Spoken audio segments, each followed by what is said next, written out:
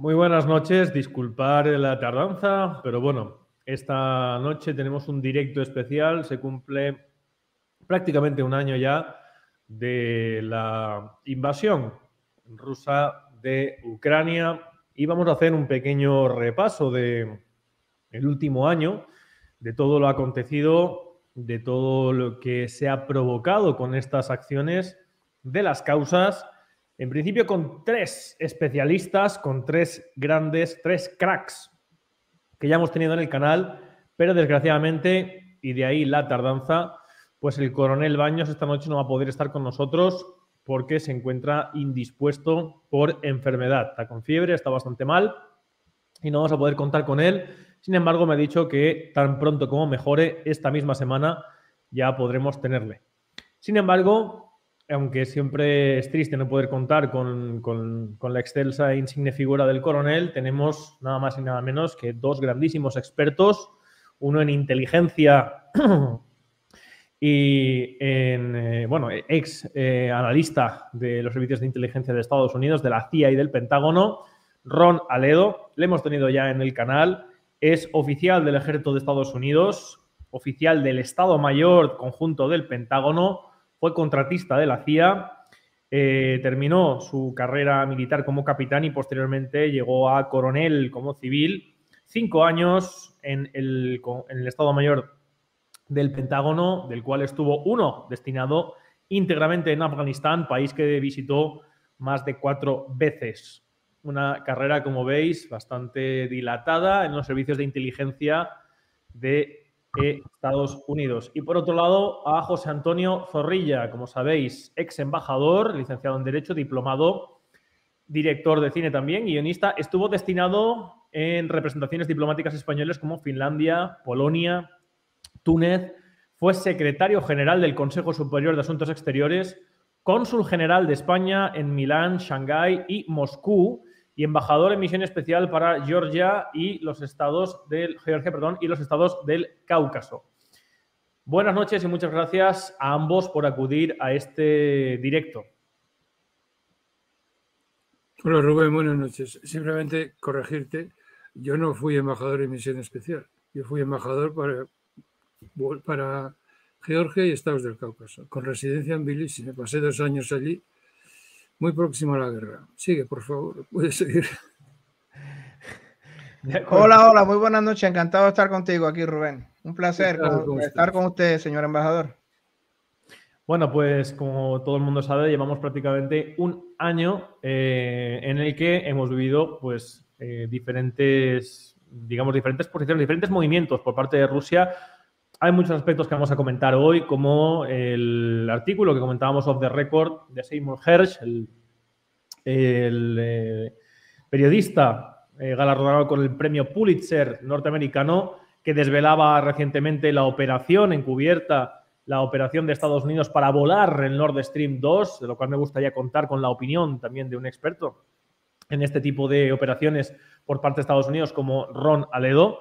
También vamos a hablar del eh, discurso del presidente de la Federación Rusa, Vladimir Putin, hace escasos días, el discurso del Estado de la Nación, donde prácticamente se anunciaba la ruptura, eh, la ruptura, perdón, económica con Europa por parte de Rusia y el financiamiento de relaciones comerciales y eh, la creación de infraestructuras y logística con China, con India y vincular toda la economía rusa a el Pacífico. Pero antes de todo eso, me gustaría simplemente conocer vuestra opinión respecto a las causas de este conflicto. Llevamos un año, pero todo esto empieza, como todo el mundo sabe, a los que siguen este canal, en octubre, noviembre del año 2021, cuando el general Austin, por primera vez, hace el anuncio de que la OTAN, de que, va, de que Estados Unidos va a promover que en la OTAN se incluya eh, a Ucrania y desde entonces, en el mes de noviembre, diciembre, se produce un aumento de la beligerancia y la presencia militar rusa en la frontera con Ucrania, país que ya había estallado en guerra civil desde el año 2014 por el Maidán. Y finalmente, después de que en enero y febrero tanto Anthony Blinken como Sergei Lavrov no llegaran a un acuerdo del, 22 de febrero, el 24, precisamente se realizaba esa llamada en Rusia operación militar, desde el punto de vista objetivo, una invasión por parte de Rusia que primero tuvo unos objetivos estratégicos X, cercar eh, Moscú, ah, perdón, cercar la capital de eh, Ucrania, eh, Kiev, y una vez confirmado que el presidente de Ucrania, el señor Zelensky, daba a Moscú ese beneplácito de que no iba nunca a promover la inclusión de, la, de, la, de Ucrania en la OTAN, la redirección de nuevos objetivos estratégicos hacia la consolidación del Donbass y eh, la, inclusión, digamos, la adopción por parte de Moscú y de Rusia de eh, integrar en la Federación Rusa las regiones al oeste del Dnieper, la mitad de Ucrania. Y en ese momento nos encontramos ahora con una posición defensiva de Rusia y una posición ofensiva de Ucrania que ha solicitado armamento pesado para ello. ¿Cuál es el resumen? ¿Cuáles eh, las causas de todo este pequeño resumen que acabo de hacer? Si quiere que empiece el embajador y posteriormente el, el Ronaldo. El capitán Ron. Yo creo que de esto ya hemos hablado mucho. No sé si vale la pena volver sobre el tema. Es decir, los, los Estados Unidos, cuando ven que se hunde la Unión Soviética, eh, toman la decisión de que no están interesados en absoluto en un modelo de carácter inclusivo, que es el que les propone les propone Rusia, perdón, es el que les propone Alemania, que todavía está, vamos, lo podéis, tenéis en internet el mapa del 94 que expone Alemania y que era heredero de la Conferencia de Seguridad del Helsinki en 1975, que de 1975 a 1990 garantiza un montaje de seguridad y de, digamos, de buena voluntad entre los dos campos que hoy nos resulta simplemente increíble de ver, o sea, increíble de comprender. Eh, es un tema ese que está muy bien estudiado porque lo ha estudiado Mary Sarot y sabemos lo que pasó. Sabemos positivamente, ha desaparecido nuestro amigo Ronaredo. Sí, perdón, debe haberse caído, no se preocupe. Siga usted, embajador, y ahora volverá. Bueno, eh, que hay, hay un pequeño remerengado ahí, ¿no? Es decir, Baker ve lo que está pasando y no dice nada, pero él ve que el tema de la reunificación alemana se puede resolver con que se pongan de acuerdo Rusia y Alemania. Y claro, esto a Zelik, que es su ayudante, su mano derecha, la mano derecha de Baker, hombre importante porque acabará siendo luego director o presidente del Banco Mundial, se chiva inmediatamente al presidente que está en Washington y le dice, oye, esto, George, que si se juntan Alemania y Rusia, se acaba la NATO. Y no, no, esto no puede ser, lo arreglamos de otra manera. Y desde entonces se llegó a la conclusión de que lo mejor era la NATO. O sea, el ejercicio de la hegemonía de Estados Unidos en Eurasia exige inexorablemente la NATO. hay un pequeño problema y es que a Rusia eso no le gusta y se lo dice. Y entonces Bush padre contesta con un verbo que está en la historia, es decir, no tiene nada que decir Rusia. We prevailed. O sea, nosotros prevalecimos. Esto es un doble error Primero, porque no, es decir, la idea no es militar, no ha habido una confrontación militar entre los dos países. Simplemente la Unión Soviética se ha hundido porque era un desastre. Yo viví detrás del telón de acero, aquello no funcionaba de ninguna manera. Entonces, se hundió por lo que se hundió, pero no se hundió porque Estados Unidos empujase. Esa es la primera de las cuestiones. Y la segunda, que es mucho más grave, y es que un acuerdo de seguridad, un acuerdo que garantiza el que no hay guerra, es un acuerdo en el que las dos partes se ponen de acuerdo. O sea, nunca es unilateral. Tú no puedes imponerle a Rusia un acuerdo de seguridad con el que ella no está de acuerdo. Ella no quiere que se amplíe, la NATO. Y no hay más. Y entonces los otros dijeron, sí, vamos a ampliarla. Y Václav Havel también es conocido porque también pronuncia una frase que recoge la señora Sarot. Pues si no le gusta, ¿qué pasa? ¿Nos va a tirar una bomba a Rusia? Pues, efectivamente, bueno, a él no, se la ha tirado a Ucrania. Y entonces esto encaja con una muy vieja historia, que es la historia de que los anglosajones, empezando por Inglaterra en 1904, no quieren en absoluto que Alemania y Rusia se junten, porque en ese momento ellos, los ingleses, son una pequeña isla con una armada muy poderosa, sí, la armada. Para defender Inglaterra, fenomenal, pero para conquistar Eurasia, imposible. Este, y entonces los americanos lo heredan. Con tanta torpeza que hoy siguen ahí metidos Mientras que, señores, por favor, se está deshelando el Ártico. Va a tener Rusia 25.000 kilómetros de costa. Y los Estados Unidos tienen un rompehielos y Rusia 40, de los cuales entre cuatro, pero están yendo a seis este año, nucleares. Esto es incomprensible. Y mientras tanto también en el sur están perdiendo los rusos la batalla contra el ISIS, tanto en Mali como en Burkina Faso. Pero no podemos luchar con ellos contra el ISIS, porque si lo hacemos, estamos ayudando a nuestros enemigos. O sea que al final vamos a ayudar al ISIS. Y luego me gustaría hacer algo referido específicamente al mundo de habla española. Una de las consecuencias de esa barbaridad. Hemos blanqueado a Venezuela. Se ha caído Guaidó. Se acabó. Los americanos han decidido que Rusia es horrible, pero han decidido también, por consiguiente, como alternativa, que Venezuela es buena. A partir de ese momento, Guaidó, ¡pip! La operación Guaidó, ¡pip! Se acabó. Derechos humanos en Arabia Saudí, ¡pop! Se acabó, porque también son buenos. Se acabó. 80 ejecutados en una mañana, por reto de opinión, no importa. Esto es, es una locura. Bueno, las causas, ya sabes, ya te las he contado, los resultados son básicamente esos, sobre todo una cosa muy grave, y es que se ha llegado finalmente a lo que en alemán se llama la batalla decisiva, Entscheidungsmacht. Se han juntado los dos campeones allí y les han dicho los rusos a los americanos, por lo que se hacían los duelos, ¿no? Eh, esclavos, desgraciados, no sé qué, venir aquí si tenéis valor, que vamos a hacer un duelo y os vamos a quitar el reino. Y otro dice, vosotros desarrapados, ¿qué os habéis creído? Ni de coña, vamos a por vosotros. Y el duelo ya se ha producido. Biden, este, ¿cómo se llama? Putin. Y detrás de Putin está todo el sur global. Y eso es muy mala cosa porque en el sur global nosotros los hemos cerrado en una especie de corral y ahí China y Rusia nos ganan.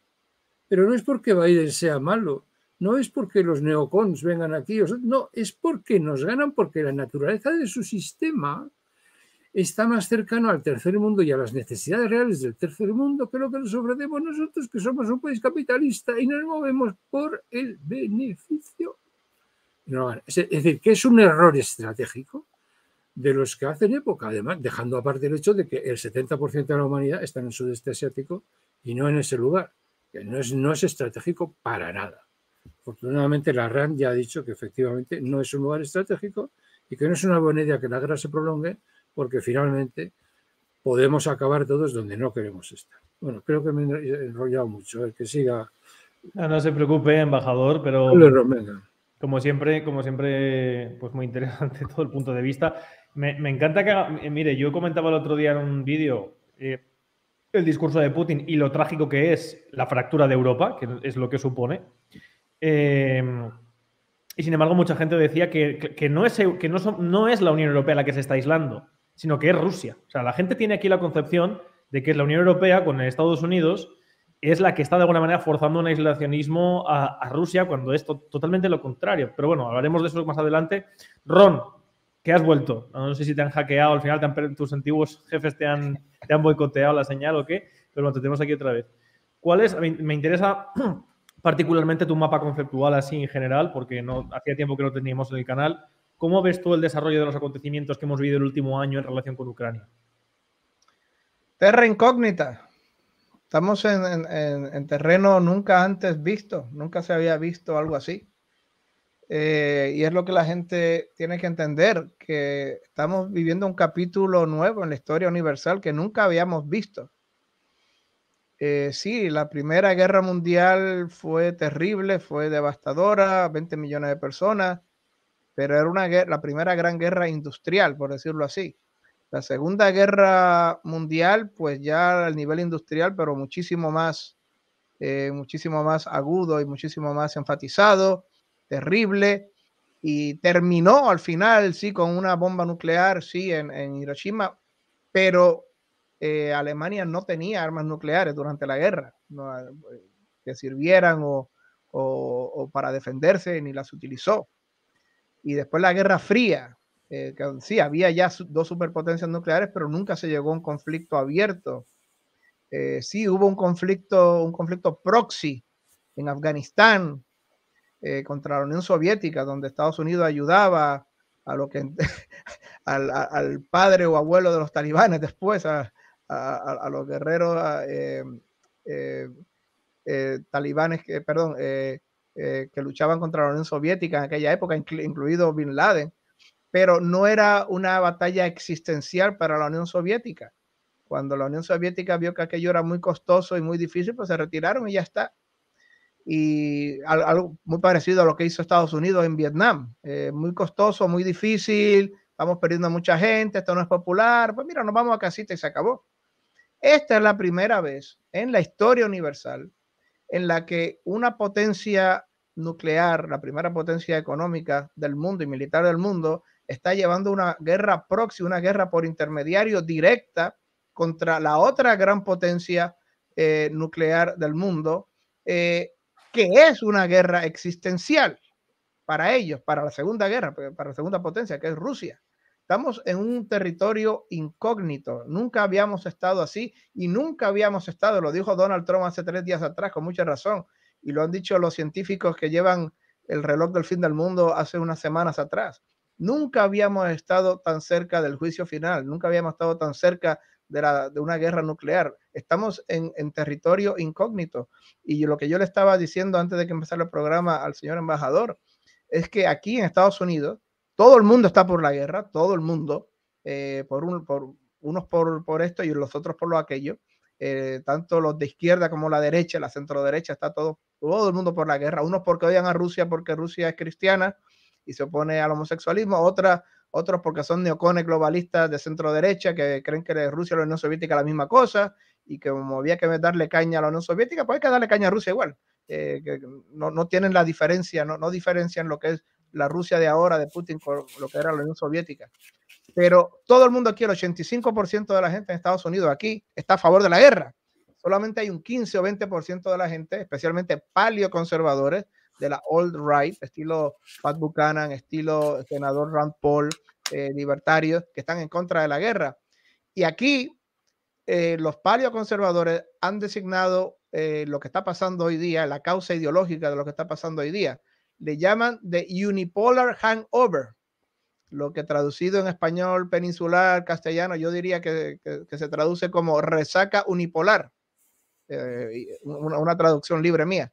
Pero no, no, hangover, Llevamos 35 años en plena borrachera haciendo lo que nos da la gana, sin nadie que se nos oponga, a, placer, desde Panamá a, Libia, a Irak número uno, a Irak número dos, a Siria, a, Serbia, no, nos da igual. Estás, eh, estás, hablando, Ron, de las intervenciones directas que ha tenido Estados Unidos en estos países. Sí, sí, y, como nadie se nos ha opuesto, como somos la gran potencia, los que ganamos la Guerra Fría, podemos hacer lo que nos da la gana a diestra y siniestra. Ahora queremos hacer lo mismo con Rusia, que no es Irak, que, no es Serbia, que, no es Libia, que, no es Siria, que no es Panamá, que tiene 6.000 armas nucleares que ninguno de estos pequeños países tercermundistas tenía, que tiene gliders, que tiene ICBMs, que tiene eh, gliders espaciales hipersónicos que van a 15 veces la velocidad del sonido y ahora quieren seguir haciendo con Rusia lo mismo que hacían con Irak.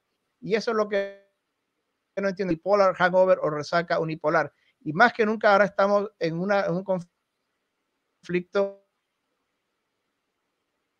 Nunca en la historia universal estábamos en una situación así y solamente Dios sabe cómo va a, a terminar esto. Eh, Ron, una pregunta. ¿Tú, que, eh, ¿Tú crees que con Donald Trump hubiera pasado lo que vivimos hace un año y todo lo que llevamos viviendo en Ucrania? ¿Perdón?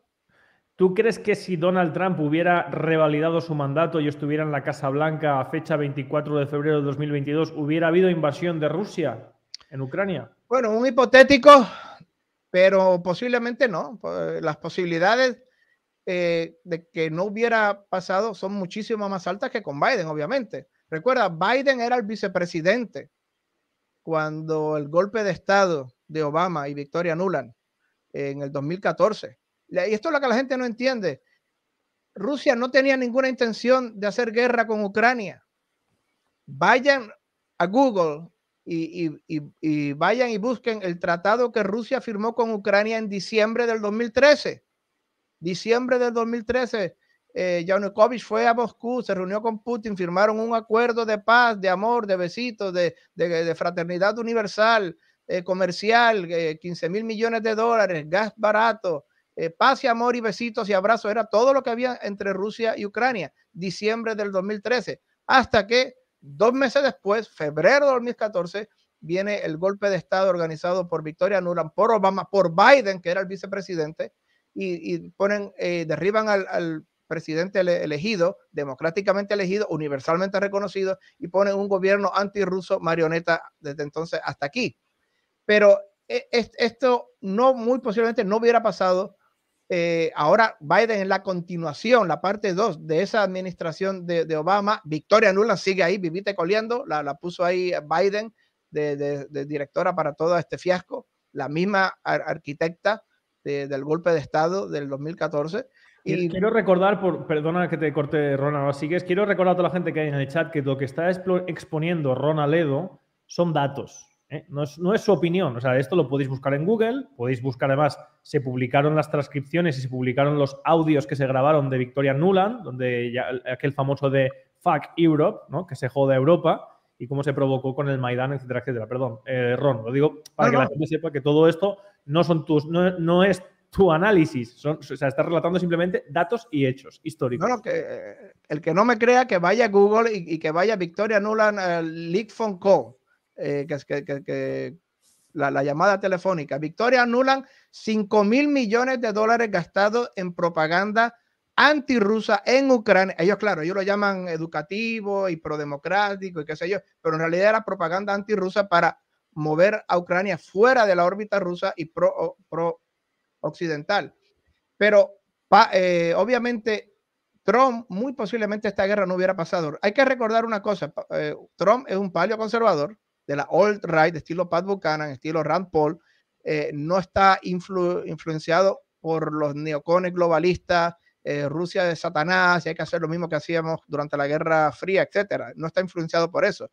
Y las acciones que, que, fueron el, último detonante de esta guerra, hay que recordar entre todos ellos el, el, el pacto militar, económico, de inteligencia que firmó Estados Unidos con Ucrania en noviembre del 2021. Vayan a Google otra vez. Eh, military Pact, Economic Pact, Political Pact between Ukraine and the United States, November 2021, noviembre del 2021. Vayan allí. Ese fue uno de los últimos detonantes, la última gota que llenó el, el, eh, el vaso, por decirlo así. Eso nunca se hubiera firmado bajo Trump. Eh, Trump me parece que para seguir la corriente de, y para unificar al partido eh, republicano, me parece que le dio 400 millones de dólares a Ucrania en ayuda militar, una cosa así, entre 350 y 400 millones. Biden ya va por 120 mil millones y contando, 120 mil y contando. O sea que vamos a ver. Y además, Trump fue muy, pero que muy, eh, ha sido muy coherente. Esto nunca hubiera pasado bajo mi administración. Yo le doy el beneficio de la duda. Creo que nunca hubiera pasado bajo, su administración. Y hace tres días atrás, tres días atrás, algo increíble pasó. Un expresidente de los Estados Unidos como Trump le echó la culpa a Victoria Nula. Dijo que esto es por culpa de los globalistas neocones y, por el complejo militar y su poder y su influencia sobre la, política de Estados Unidos. No me crean a mí. Vayan y Google el discurso que dio Trump hace tres días atrás. Estoy hablando el viernes o el jueves, me parece, jueves por la noche.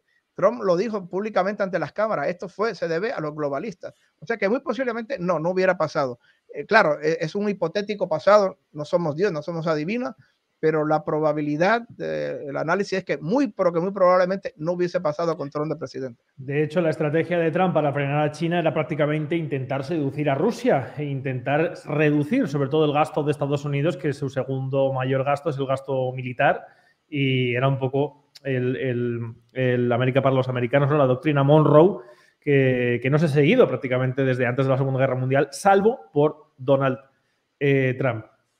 Este un, punto muy rápido. La gente tiene que entender una cosa.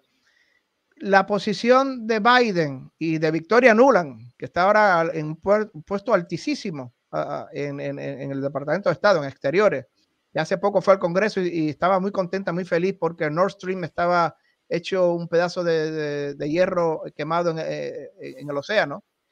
La, la posición de Biden es la posición globalista, antirrusa, rusófoba, que es muy, pero que muy parecida a la posición de los tres países bálticos, de Lituania, Estonia, Latvia y de Polonia por razones históricas, tienen una, están muy, pero muy parecidos. La posición de Trump es muchísimo más realista, muy, muchísimo más parecida a la que podría tener una posición de Francia, de Alemania, incluso de, de Italia, de Berlusconi, incluso de países como Croacia o Hungría o de, de, de Orban, que son neutrales, pero en realidad que son neutrales entre comillas, entienden la realidad del asunto y entienden eh, la tragedia en que nos estamos metiendo y son completas, pero completamente en contra de extender esta guerra y de intensificarla, porque como, como dije al principio, terra incógnita, no sabemos dónde nos estamos metiendo y dónde esto va a acabar y esperemos en Dios que no sea una guerra nuclear. No, sí, Ron, pero bueno, sí podemos más o menos apuntarlo viendo que, que, Rusia ya da por perdida la estrategia que ha seguido. O sea,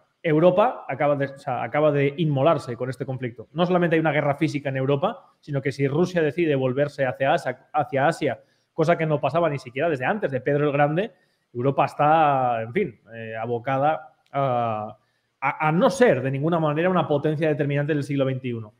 Pregunta Fortuna Isabel, ¿cómo o quién penaliza si España decide no más a este conflicto? Bueno, España yo creo que no tiene capacidad de decisión aquí si apoyar o no apoyar la guerra. No sé si queréis responder vosotros, pero eh, embajador. Somos, toda Europa, toda Europa, está, mira, aquí hay una cosa muy interesante que acaba de aparecer, que todavía no he oído hablar de ella, pero que ha sido un bestseller en Alemania, todavía no está traducido. Este, Oscar Lafontaine acaba de escribir este bellísimo panfleto de 50 folios diciendo que ya va siendo hora de que los americanos se vayan de aquí y que Europa pierda el bozal que les ponen. Somos un continente vasallo. Y no solamente somos un continente vasallo, sino que ponemos la cama. Y me, me refiero en términos hipercríticos, o sea, definitivamente los más duros que te puedas imaginar, hacia el engaño que Francia y Alemania llevan a cabo con Rusia en el tema de Minsk. Hasta ahora no sabíamos lo que había pasado ahí, creíamos que Francia y Alemania eran limpios, puros, yo estaba convencido que como las cantatas de Bach, Alemania era una Festeburg, una, fortaleza importante, una firme, ¿no? y lo que hemos encontrado es que tanto los alemanes como los franceses son los trileros unos trileros. O sea, Find the Lady se llama en inglés el juego ese de ti, ti, ti, a ver si pillan a un hula y pillamos aquí a un hula y tal, venga, pum, y le, le en una de estas ferias de ganado a un pobrecillo que acaba de vender la vaca lleva en el bolsillo 40.000 pelas, se la soplan, ¿no? Y es lo que hemos, es lo que ha hecho Francia ha hecho Alemania. O sea, a mí me han quitado el honor, joder, nos han deshonrado. Es una cosa gravísima. Honor es una palabra en francés muy fuerte Hoy en alemán, ni te digo. Cuando se fueron a la Primera Guerra Mundial, el Kaiser le dijo a Alemania, le dijo a Austria, Nibelungentreu, la fe de los Nibelungos. Pues ni honor ni Troy. Y queda, Rusia en la que la palabra chest, chest, Ch-E-S-T, es honor. Pues también lo hemos pisoteado. Es algo yo me siento particularmente ofendido. Es decir, yo iba a hacer que estaba iniciando el proceso, te lo pregunté a ti, Rubén, cómo se monta un crowdfunding, porque iba a hacer un YouTube diciendo que Alemania y Francia representaban el honor de Europa, diciéndole a Estados Unidos que aceptase Ucrania una simple autonomía y se hubiera evitado la guerra. Lejos estaba yo de imaginar, primero, que Estados Unidos le había prohibido a Bennett, primer ministro de Israel, el que siguiera adelante con sus manejos de paz, porque tocaba la guerra. Eso lo ha dicho Bennett, gracias, señor Bennett, Neftali Bennett, primer, ex primer ministro de Israel. Eso ese, ese es ese señor. Pero estaba mucho más lejos de imaginar que Francia y Alemania habían pactado eso para darle tiempo a Ucrania a armarse. O sea, que la guerra estuvo siempre en el pensamiento de esta gente. Y ahora, gracias a un artículo de periódico, si me vas, a, a perdonar, es un momento nada más, a un artículo de periódico que debemos en el día de hoy a Jesús Cacho, ha publicado un magnífico, una magnífica cita del padre Gracián, precisamente sobre el honor. Es muy cortita, os la voy a leer y vais a ver, entre otras cosas porque el español en el que escribe es de lujo. Vamos allá. A ver. Eh, con quien no tiene que perder es reñir con desigualdad. Entra el otro con desembarazo porque trae hasta la vergüenza perdida. Remató con todo, no tiene más que perder y así se arroja a toda impertinencia. Nunca se ha de exponer a tan cruel riesgo la inestimable reputación que costó muchos años de ganar y viene a perderse en un punto de un puntito. Bien, esto es lo que nos ha pasado a nosotros. El honor, la fe. Ahora, ¿quién demonios va a firmar un tratado con Francia o Alemania? No se cree nadie nada.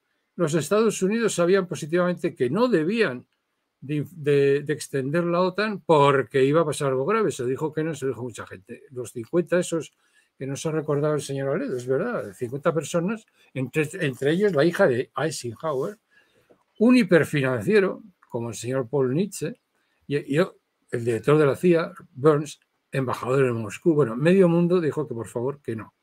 Y ahora me vais a perdonar, y con eso termino, una pequeña observación sobre qué es un sistema de seguridad y qué es un dilema de seguridad. Toma la Rubén. Sistema de seguridad.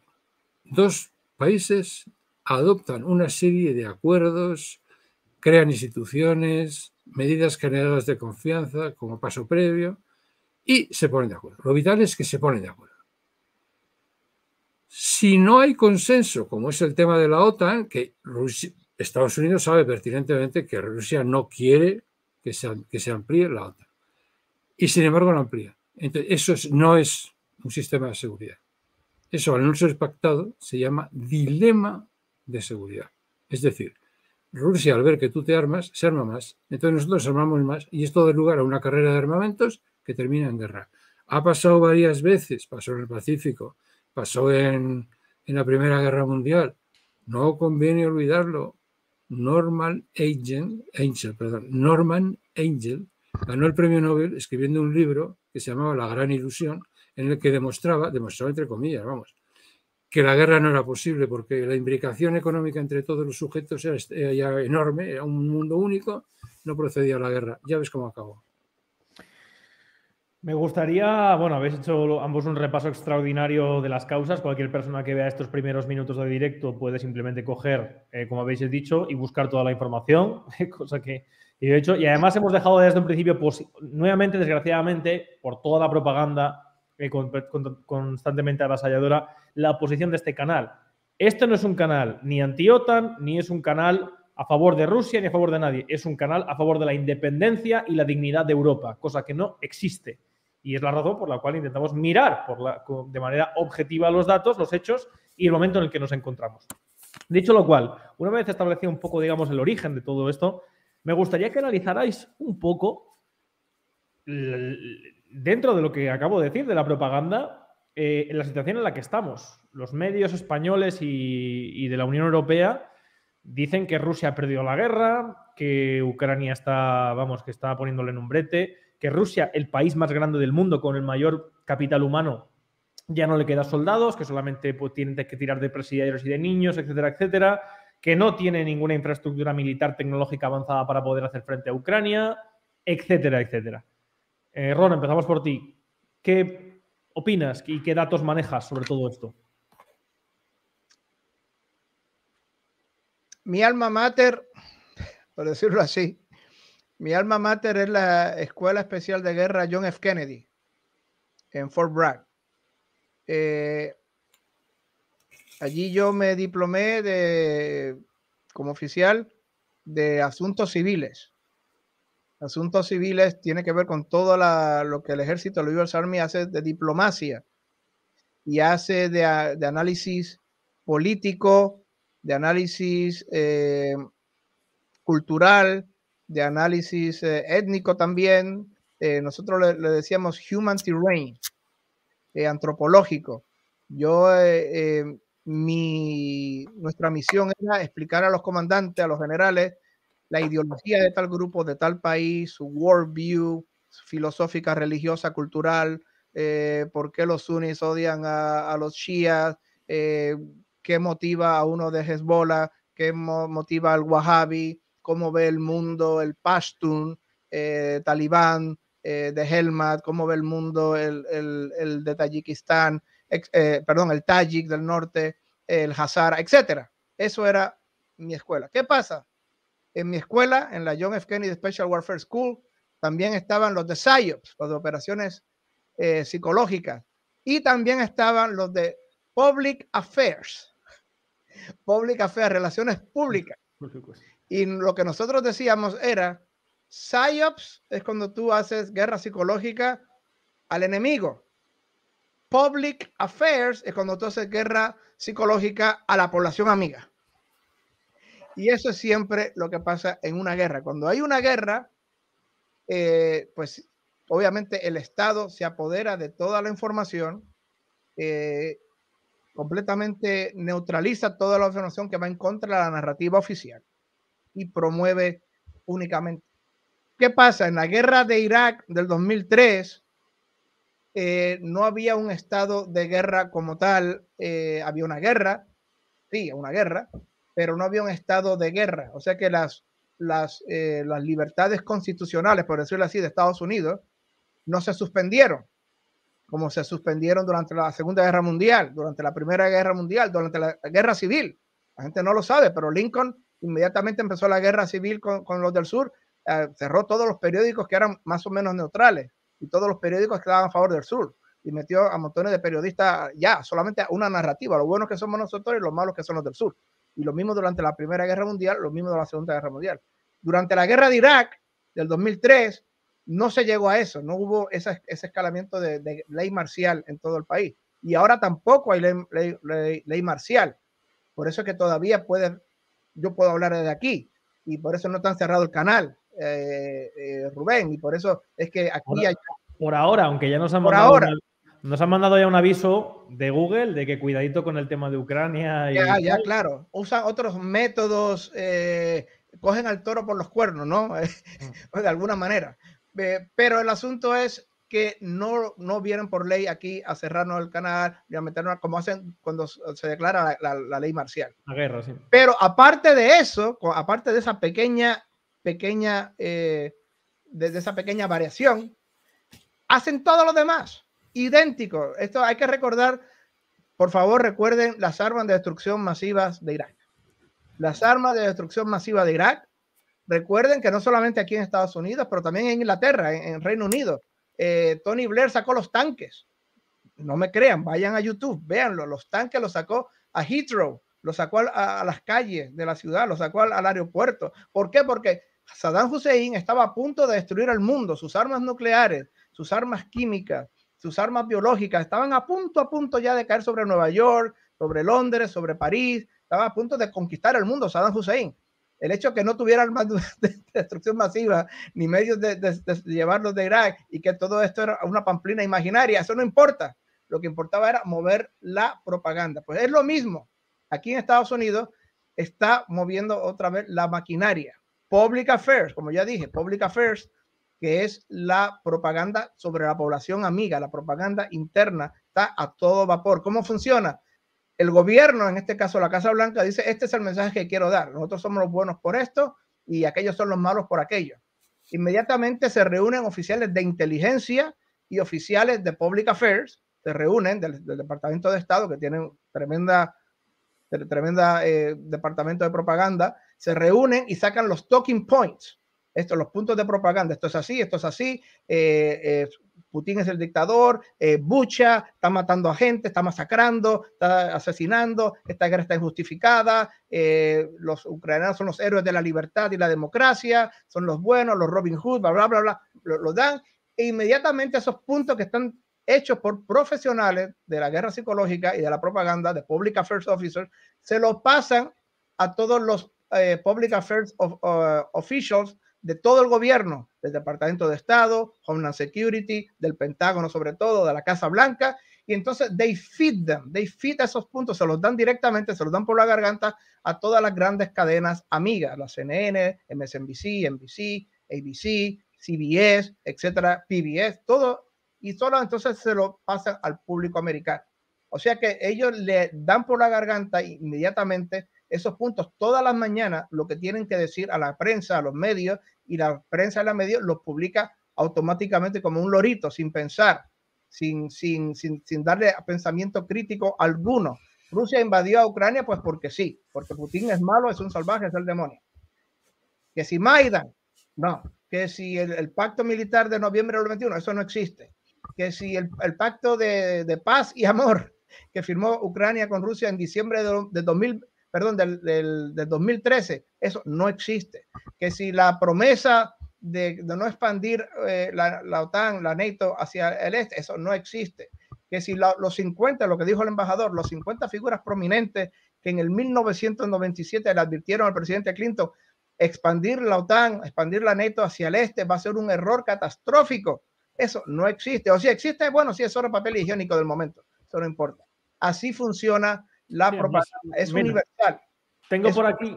Tengo y por aquí. eso, pues obviamente, por eso es que aquí en Estados Unidos el 85% de la gente, el 80-85% sin pensar, sin razonar, siguen automáticamente esta propaganda. El Partido Demócrata, pues, odian a Rusia porque Rusia es cristiana y está en contra del matrimonio homosexual y qué sé yo. El Partido eh, Republicano, la gran mayoría, los neocones globalistas, odian a Rusia, pues porque Rusia es lo mismo que la Unión Soviética y son comunistas. Y, o sea que hay, que hay que destruirlo.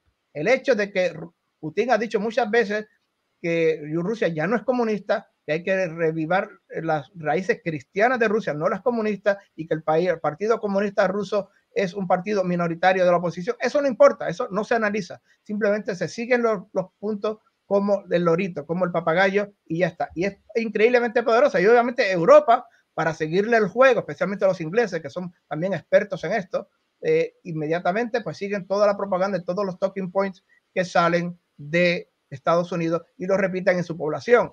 Y lo sí repiten en España, lo repiten en Inglaterra, lo repiten en Francia, lo repiten en Italia, etcétera, etcétera. O sea que estamos ante, ante una propaganda cuasi universal, lava el cerebro, que simplemente adoctrina sin pensamiento crítico, sin lógica, simplemente para que la gente siga como un lorito repitiendo los puntos. Y además, Ron, todo, todo el que haga lo que estamos haciendo aquí es porque es prorruso o porque está pagado por Rusia eh, o porque es un esbirro de Putin, etcétera, etcétera. Además, muy interesante lo que tú has explicado de cómo se hace la desinformación, la propaganda de guerra en este caso, porque se publicó hace un año, yo hice un directo al respecto sobre cómo se utilizan las agencias de más de 100 y de 150 agencias de relaciones públicas afincadas en Reino Unido, que son las encargadas de distribuir a todas y cada uno de los medios de comunicación de la Unión Europea el mismo discurso que se tiene que dar de la misma manera, con los mismos datos, en el mismo orden, y así, pues cuando encendemos las televisiones y, los periódicos, y vemos los periódicos en España, vemos que sucede tal cual lo acabas de, de describir. Un momento antes de que, de hable el embajador, porque un buen amigo eh, afincado en Minsk acaba de hacer una generosísima donación de 100 euros que pregunta si entrará Bielorrusia en la guerra. Sabéis que recientemente se ha filtrado, a mí me pasaron, no solamente conozco a Ron o al coronel Baños, hay más personas que han trabajado en servicios de inteligencia que tienen contacto conmigo, y me pasaba la información de que Bielorrusia seguramente iba a, a, entrar, digamos, en la Federación Rusa y que iba a ser el anuncio de Putin. Esto sabéis que yo lo he dicho muchas veces en este canal y en estos directos, que yo no considero que eso vaya a pasar mientras Lukashenko viva. Y sabéis también que hace dos años estuve en Bielorrusia. Además, muchas gracias Agustín en su momento por, por, por echarme una mano con el ruso y tal. Y pregunta si finalmente Bielorrusia entrará en la guerra con Ucrania. Si, podéis responder. Eh, considero que en cuanto a apoyo, hasta ahora Bielorrusia, obviamente, Bielorrusia es como Kazajistán, un país de colchón que necesita Rusia con, con, con la OTAN y es probable que en el futuro, pues eh, en el futuro próximo vaya a jugar un papel más preponderante, más aún cuando en las últimas horas los medios de comunicación españoles, que tendrán las fuentes que tendrán, están advirtiendo de que podría haber operaciones de falsa bandera rusas en Bielorrusia, algo completamente absurdo desde el punto de vista de la logística y del apoyo y de la interrelación absoluta que hay entre Bielorrusia y Rusia. Sí, embajador. Bueno, ante todo me gustaría muchísimo saludar a Agustín. Nos conocemos, nos vimos en Minsk, iba allí, comía con él nos movíamos de aquí para allá, teníamos amigos comunes, ¿no? ¿Y qué ¿Eso Agustín? ¿Todo va bien? ¿Tu, ¿Tu restaurante va bien? ¿Tiene mucho éxito? Tenía un restaurante. Muy interesante todo, pero es un mundo que desgraciadamente tuve que abandonar muy fascinante cuando tenía todavía el ruso que no lo había conseguido en la última vuelta, ¿no? Y tuve que dejarlo. En fin, qué, pena, qué pena. Pero bueno, sigue. Luego volví allí en Georgia, que es lo mismo, vamos, que parecido. Bien, yo viendo la pregunta esta, dejando la cosa social y viendo la pregunta, francamente creo que sería por parte de nuestro amigo Lukashenko algo temerario. O sea, entrar en guerra, que entrase en guerra él desde el norte contra Polonia, me parece que sería una temeridad. No creo, es una persona que, claro. Contra Polonia no, contra Ucrania entiendo que está preguntando, embajador. ¿Cómo? Contra Polonia no, contra Ucrania entiendo que está preguntando. No, no, es que va, si entra contra Ucrania, entra contra Polonia, no tiene solución, está de todo junto allí, ¿no? Es que está ahí el corredor ese famoso de, que nunca me acuerdo cómo se llama, el que lleva, el que lleva a Kaliningrado. no, se mete en un lío grave. Pero yo no quiero aquí decir nada de Bielorrusia, entre otras cosas, porque nuestro amigo Agustín está allí. Pero así como en, voy a decirlo así por encima, así como el 80% de los rusos están detrás de Putin y hay una gran civilización que no lo consiente, bueno, el patriarca tal, las cosas en Bielorrusia están más matizadas. Y si Lukashenko sacase el fusil y empezara a mover tropas y tal, la, la, conmoción que eso causaría en la sociedad bielorrusa, yo creo que podría llevar a soluciones que serían muy malas para el señor Lukashenko. Y si eso lo pienso yo, pues supongo que también lo piensa lo propio, el propio Lukashenko. Si me puedo permitir una anécdota personal, os explicaré cómo va la cosa. Los mayores, yo estuve, bueno, estuve varias veces ahí por hacer trabajo, tenía que ir a mí, es que dependía de mí, tenía que. Bueno, es muy importante señalaros a todos que en el caso de Minsk mucha identidad nacional no hay, son todos de Pushkin y de Lermontov y tal. No lo, no veo yo mucho. Aquí se quiere magnificar. Yo ya sé que hay nacionalismo bielorruso, pero yo no vi mucho, la verdad en lo que vi y conocí. ¿no? Me gustaría aclararlo. Pero luego me gustaría aclarar otra cosa que es interesante para vosotros. Todos los viejos a los que conocí decían que estaban muy contentos, que no querían que cambiara nada, porque si cambiaba iba a ser como Moscú. Por el contrario, con un joven tuve la oportunidad, que no es que ahí se pueda hablar mucho, porque están como en los tiempos del couple en Polonia, detrás del telón de acero. Íbamos en un coche se supone que yo era la autoridad extranjera y se suponía también que yo no hablaba ruso. Por desgracia para ellos, daba la casualidad de que entendía todo lo que estaban diciendo, todo hay que decir, porque tampoco es que fuera un poema de Pushkin, vamos. Y estaban charlando el joven que llevaba el coche y el viejo. Y el coche, el joven le decía al viejo, que era del partido, claro, que no, Nicolai, que me voy. Y le decía otro, pero Sasha, que no te puedes ir, joder, que eres el más brillante de la facultad, joder, que eso no se puede hacer, que tú te debes a esto, que te quedas aquí. Y otro decía, déjame en paz. Primero, no voy a terminar la carrera, eso de entrada, yo me voy. Y segundo, tío, que es que aquí gano 100, 100 dólares al mes y es que me voy a Praga y me pagan mil y voy todos mis amigos, tengo un, ¿cómo se llama esto? un apartamento, salimos por la noche. Aquí se me ha perdido aquí, me voy. Entonces, esas son las dos Bielorrusias que yo haya visto. Son dos. Y me da la impresión de que un proceso bélico tensionaría, crearía estrés entre ambas partes, vamos, sería por parte de Lukashenko una verdadera locura. Ahora bien, el que manda, manda. Y en Bielorrusia no manda Lukashenko, manda Putin. El Putin llega y dice, la 14 brigada por aquí y la 14 brigada va por ahí. Es un poco como Estados Unidos con nosotros, ¿no? Antes Ron, como de pasada, ha señalado que, nos está, que está apoyando a Estados Unidos más en Polonia y en los Bálticos que en Alemania y Francia. Yo esto creo que es importantísimo, pero desearía que tú siguieras, eres tú el que tiene que llevar la conversación. Eh, sí, antes de, responder a la pregunta, porque he hecho una pregunta que, que, Ron ha abordado desde la primera parte muy brillantemente, eh, la desinformación. pero me gustaría que analizáramos también y les pusiéramos aquí a la pequeña audiencia que tengamos en España y en algunos países amigos y hermanos, si realmente Rusia ha perdido la guerra o en este tiempo eh, está como dicen la desinformación europea, es decir, no, no tiene soldados, no tiene tanques, no tiene inteligencia, porque según aquí Rusia está nada, está perdiendo la guerra, de acuerdo con la política y con el discurso oficial, y no tiene ni siquiera alta tecnología ni medios para poder. Eh, bueno, pues te, lo voy a, te lo voy a poner así, Rubén. Estadística que acabo de ver. Pérdida para el Producto Interior Bruto de Alemania como consecuencia de la guerra, 4.3%. Pérdida de PIB para Rusia como consecuencia de la guerra, 2.3%.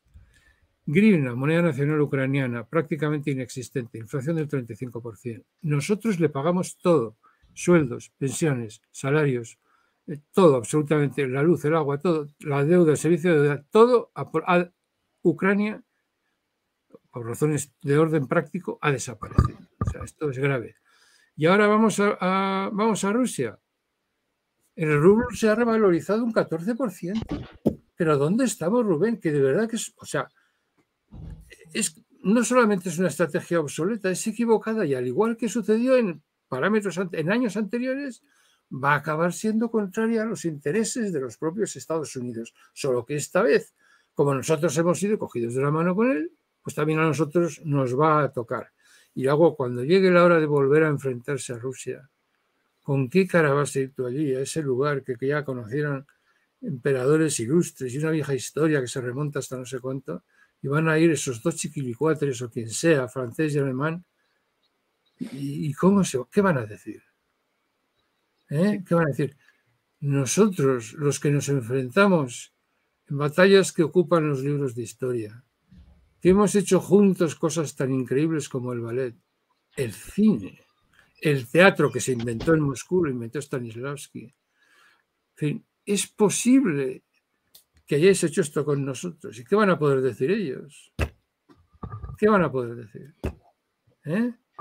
Sí, bueno, tú sabes, Rubén, que hay 59 héroes de la Unión Soviética que lo son por hechos de armas que tuvieron lugar en la Guerra Civil Española. ¿Se puede traicionar ese legado?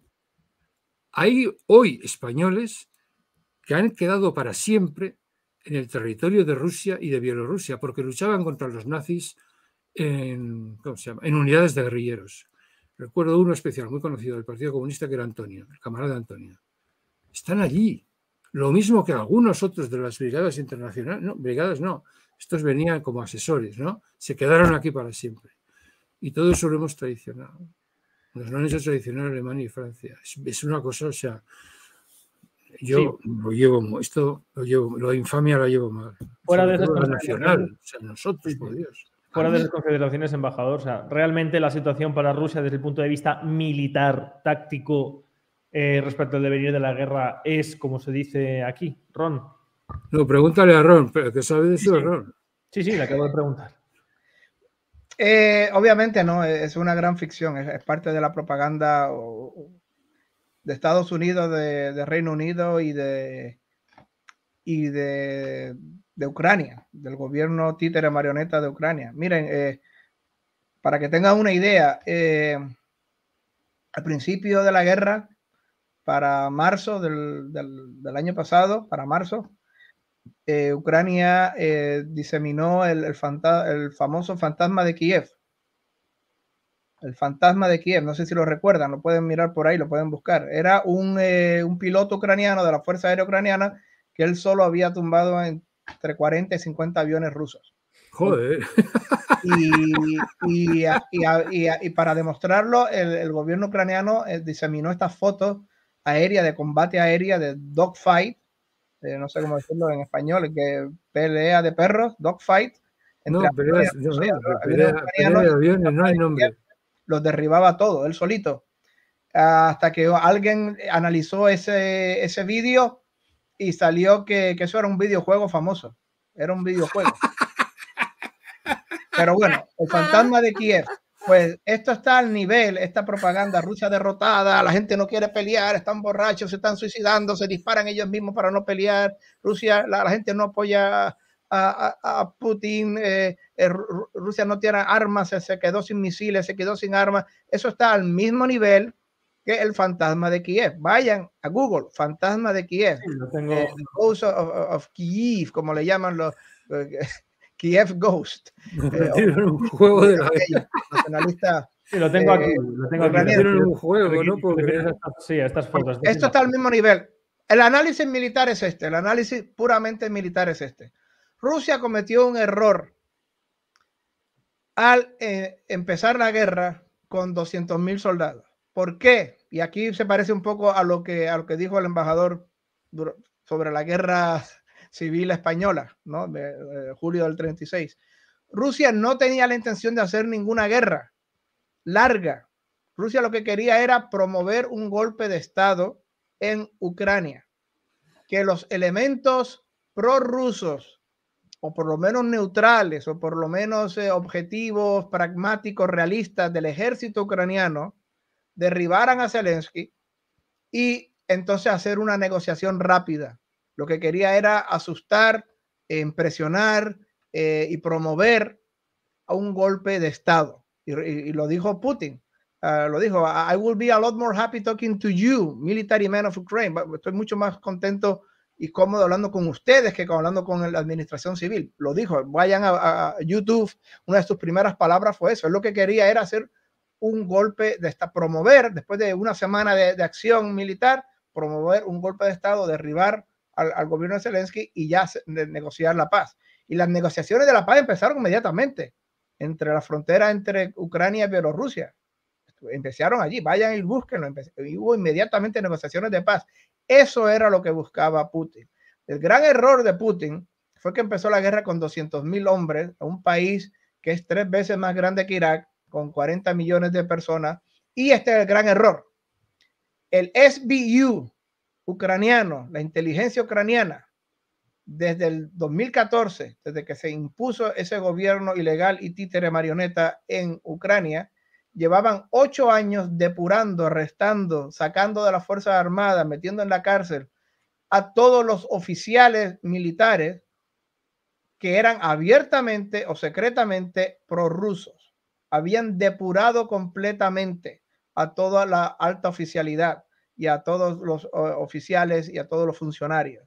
No existía ese elemento en la que Putin estaba, estaba eh, estaba confiando en terminar la guerra rápido en unas cuantas semanas y propiciar un golpe de Estado. Habían sido depurados del ejército. Al contrario, el SBU, eh, con la ayuda de la inteligencia, eh, más que nada del MI6 de, británico, llevaban ocho años sacando y depurando a cientos, a miles y a decenas de miles de oficiales del ejército con simpatías prorrusas, especialmente del este y del sur de, de, de Ucrania. ¿Sí, embajador? Decirte que eso que dices tú es absolutamente cierto, pero que ahora se ha producido un hecho nuevo que, que digamos que completa lo que tú dices, y es que el ex primer ministro de Israel, el señor Neftali Bennett, ha confesado que en el mes de marzo estuvo hablando con Putin y que Putin le había garantizado que, bueno, eh, gracias a su mediación, él abandonaba la idea de desnazificar Ucrania y de desmilitarizar Ucrania, o sea que no iba a haber necesidad de cambio de régimen. Y los americanos le dijeron, señor Bennett, no procede la paz. Tiene que haber guerra, tiene que sufrir Rusia, hay que desangrarla. E, esto lo ha dicho Bennett, o sea que ya no es cuestión de lo que yo opine, está en el periódico Bennett, Google, Bennett, eh, Peace Process, que dijeron que no, en el mes de marzo sea, la guerra, como se ha demostrado ahora con la traición y, la trila de Francia y de Alemania, la guerra fue siempre lo que se buscaba. Estaban los, supuestamente liberales y progres franco-alemanes, eran tan de derechas y tan criminales como los straussianos o como se llaman los neoconcesos que están ahí haciendo lo que hacen. Bueno, el Brock, como le llamaban. Me parece una cosa del Brock, un nombre magnífico. Esto inventó un jefe de gabinete de, de, Obama, Brob, que es un moco grande así verde, de, un, de una película que no me acuerdo quién es, eh, el Brob. Pues llevan con el blog haciendo lo que les da la gana 50, 40 años. Da igual que mande la derecha, la izquierda, demócratas o los otros. Es una cosa lamentable. Y nuestros queridos políticos de Francia y de Alemania, los del gótico, los del Festeburg, los de las cantatas de Bach y toda esa cosa maravillosa, ¿no? Están con ellos. O sea, es, vamos, y además con tradición, o sea, por la espalda. Y con el Consejo de Seguridad de las Naciones Unidas detrás de ese plan. O sea, que es doble el descrédito con Rusia, con las Naciones Unidas y con toda la comunidad internacional. ¿Cómo vi yo por acá diciendo que soy europeo? Para no perder el hilo, embajador, estaba diciendo Ron que el primer error de Putin fue iniciar la guerra con 200.000 soldados, creyendo que se podía producir, forzar con eso un golpe de Estado. Y a posteriori. Pues, ¿qué pasó? Que Rusia no contaba, en primer lugar, con que el SBU, eh, el SBU, había depurado a todos los oficiales prorrusos, o por lo menos hasta neutrales, o con sentido común, o con realismo, o con pragmatismo. Lo único que quedaba eran fanáticos bajo el control de Reino Unido y de Estados Unidos, directo o indirecto. Eso era todo. Y no hubo ese golpe de Estado. inmediatamente empezó la ayuda como nunca jamás se ha visto. Esto ha sido una ayuda eh, increíble, eh, colosal. El ejército ucraniano de hace un año atrás ya no existe. El armamento ese ha, ha sido evaporado hace, hace meses, que ya esos tanques, esos aviones, esos helicópteros, esos howitzers, esa artillería ha sido desintegrada. Rusia la ha destruido completamente todo lo que tiene ahora, el 90% de todo lo que tiene ahora mismo eh, eh, Ucrania, la Fuerza Armada Ucraniana, es eh, parte de esos 120 mil millones de dólares que le ha dado Estados Unidos junto con los otros países de la OTAN y hasta Japón se ha metido allí y, y todos los países rusofóbicos de Europa, como nunca lo, ha visto el mundo, una ayuda increíble de, miles y miles de millones de dólares en armamento como no lo ha visto. ¿Qué pasa? Que inmediatamente que Rusia invade Ucrania con 200 mil hombres, algo completamente, para que la gente tenga una idea, la Unión Soviética le costó, utilizó un millón y medio de soldados para conquistar Berlín en el 1945. Solo para Berlín, para el área de Berlín, esa área de, Prusia, lo que hoy día es Brandenburgo, esa área, un millón y medio. Rusia obviamente no podía conquistar Ucrania con 200 mil soldados, toda Ucrania. Eso eh, era, no era la intención, ni muchísimo menos una guerra larga. ¿Qué pasó? Que Rusia obviamente se ha dado cuenta de su error y lo, que ha hecho ahora es ajustar la estrategia militar. Eh, llamó a 300 mil reservistas, que no estamos hablando de niños, niñatos reclutas que se iban corriendo estilo Estados Unidos reclutando para Vietnam y la gente se iba corriendo, escapando eh, de, Estados Unidos. llamó a 300 mil reservistas que ya tenían experiencia militar y veteranos. Eh, ha aumentado el, tiempo de los conscriptos. Eh, ha, le ha dado, eh, ha reclutado muchísimas decenas de miles más de voluntarios. Ha extendido la edad de, reclutamiento y ha dado nuevos beneficios. Ya ahora mismo dice el coronel, el US Army Colonel Douglas McGregor, que es uno de los doctor y uno y fue asesor también del, del secretario de defensa bajo Trump, eh, una de las personas más conocedoras de militarmente hablando de, este, de este conflicto. El coronel Douglas McGregor del US Army dice que ahora mismo Rusia tiene entre 500 a 600 mil hombres que va a utilizar en una gran ofensiva que ya está empezando, posiblemente empiece a finales de este mes, a principios de marzo, pero que es, de, de seguro va a pasar en sus grandes, grandes fases para verano para este verano va a empezar una gran ofensiva gigantesca, colosal rusa. ¿Qué está haciendo Rusia? Ha movilizado, ya está en, economía de guerra. Si no ha declarado la guerra, es cierto que no la ha declarado como tal oficialmente, porque eso ya significaría ley marcial, significaría movilizar entre 2, 3 millones de soldados, significaría eh, muchísimas otras cosas a nivel legal. Sí, tiene una economía de guerra ya tiene una economía, se ha, se ha movido eh, toda la economía de guerra, están produciendo 24/7 toda la industria armamentística rusa, están produciendo, se supone, eh, los expertos dicen 12, 1, 2, 12 tanques al día nuevos eh, y están, están refitting, están readaptando a cientos de otros tanques, los están modernizando. Ah, o sea que está en completa, completamente, están produciendo misiles, están produciendo artillería, están produciendo eh, todo lo, eh, en una economía de guerra al 100%, como no se había visto desde la Segunda Guerra Mundial. Estamos hablando. Y ahora hay hasta rumores que China está cansada ya de las amenazas, cansada de los atropellos de, sobre Taiwán, de las visitas de Pelosi, eh, de, de, lo que dijo Biden hace poco, ah, si, si China invade Taiwán, nosotros lo ayudaremos militarmente. Todas estas cosas y posiblemente el rumor, sin confirmar, es que, Rusia, que China está, posiblemente también le dé ayuda letal, ya le ha dado ayuda económica, ayuda diplomática, hasta posiblemente ayuda letal. ¿Qué está pasando sobre el campo de terreno ahora? Miren, eh, Ucrania ya no tiene, no tenía eh, armas ofensivas. La, el arma ofensiva por excelencia es el tanque, el, vehículo blindado de, de, ataque, el tanque, el tanque. Ese es el, arma ofensiva. ¿Y qué pasó? que durante estas grandes ofensivas que, que, tuvo Ucrania en septiembre, en noviembre, en octubre, eh, perdieron todo lo que tenían. Eran, eran ofensivas kamikazes. Eran ofensivas que sí, eh, tiraban 30 mil soldados contra 2 mil soldados rusos y obviamente se retiraban los rusos porque estaban overextended, estaban sobreextendidos y, y ganaron gran terri mucho territorio en el área de Kharkov, en el área de, de, de Kherson. Eh, ganaron muchísimo territorio, pero se expusieron a terribles contraataques de la artillería rusa. Y recuerden, Rusia es el rey de la artillería, de la artillería pesada. Ningún país en el mundo tiene tanta artillería, ni siquiera Estados Unidos como tiene Rusia.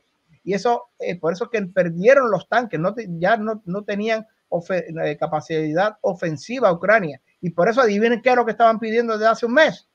Tanques desesperadamente. Estaban de enviarnos eh, los Leopards y envíennos los Abraham y envíennos los tanques británicos, porque todo lo que tenían de tanques, de arma ofensiva, lo habían perdido en septiembre y octubre. Y Rusia está acumulando más de mil tanques ahora que los ha reconstruido, que los están haciendo nuevos para hacer su gran ofensiva que va a ser entre marzo, entre finales de este mes, marzo, y la gran ofensiva final que se espera en, para, para eh, verano. Esa es la, la, situación. Y de nuevo, Rusia, y esto es lo que la, los neocones y perdonen la, la, expresión, los neocones de Washington, D.C., eh, sin cerebro, por decirlo de alguna manera, o fanáticos, no estoy diciendo que, que, no tengan cerebro, son gente inteligente, lo que pasa es que una persona, por más inteligente que sea, si está fanatizada por una idea, eh, eh, más allá del fanatismo, más allá de la, de, del raciocinio, no pueden eh, conjugar la, las ideas. Esto, esto yo lo aprendí eh, cuando yo era analista en, en las agencias de inteligencia, la, los errores cognitivos que, que, comete la gente, el fanatismo ideológico y pasional y emocional no los deja ver la realidad. Esto es lo que la gente no entiende. Darle armas a Ucrania no va a terminar la guerra. Lo único que hará es expandir y extender la guerra, porque Rusia no está en la condición que estaba Estados Unidos en Vietnam ah, nos está yendo mal, estamos perdiendo muchos hombres, es costoso, nos vamos de aquí, nos vamos a casita. Rusia no está en la condición en la que Estados Unidos estaba en Afganistán hace un año y medio atrás. Esto es costoso, estamos perdiendo hombres, esto es muy difícil, eh, nos vamos a casita, se acabó. No tiene esa opción Rusia, esto es una guerra existencial para Rusia. Esto o la gana Rusia o no la gana nadie. Porque si, si Rusia pierde un conflicto, y esto otra vez, volvemos a la resaca unipolar, de unipolar hangover, algo que nunca se había visto, terra incógnita. Si una superpotencia nuclear pierde un conflicto militar convencional, y cuando digo convencional me refiero a tanques, aviones, helicópteros, eh, barcos de guerra, si una superpotencia militar pierde un conflicto militar convencional, esa superpotencia militar no se, va a meter con el rabo entre las piernas y esa casita. Esa potencia militar va a escalar.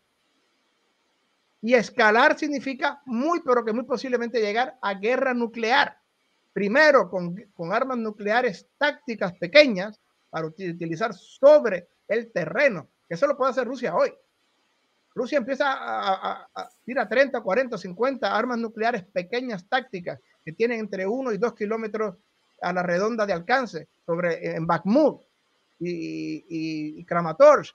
Y ya está, 40 mil, 50 mil soldados ucranianos muertos en un día. Se acabó, se acabó la guerra. Eso lo puede hacer Rusia hoy, si, si le da la gana. Puede acabar la guerra en 24 horas. Con, 30 o 40 armas nucleares tácticas pequeñas que... lo, que lo, que parece que hay gente que no, no termina de entender, Ron. En fin. Eh, eh, esto es lo que no entiende. Rusia no se va a retirar como Estados Unidos se retiró de Vietnam. Rusia no se va a retirar de Ucrania como Estados Unidos se retiró de Afganistán. Esto es existencial. Rusia solamente va a escalar y escalar y escalar y escalar y escalar. Y si tiene que llegar a armas nucleares tácticas pequeñas, pues muy bien, va a llegar a eso. Y si tiene que llegar, Dios no lo quiera, a armas estratégicas nucleares, 10, 15, 20, 30, 40, 50 veces más poderosas de las que se utilizaron sobre Hiroshima y, Nagasaki, las va a utilizar. Las va a utilizar. Esto es lo que el gran pensador, y vayan otra vez a Google, Pat Buchanan, Pat Buchanan, un gran pensador católico, paleoconservador, asesor de los presidentes Reagan y Nixon, escribió hace ya unos meses atrás.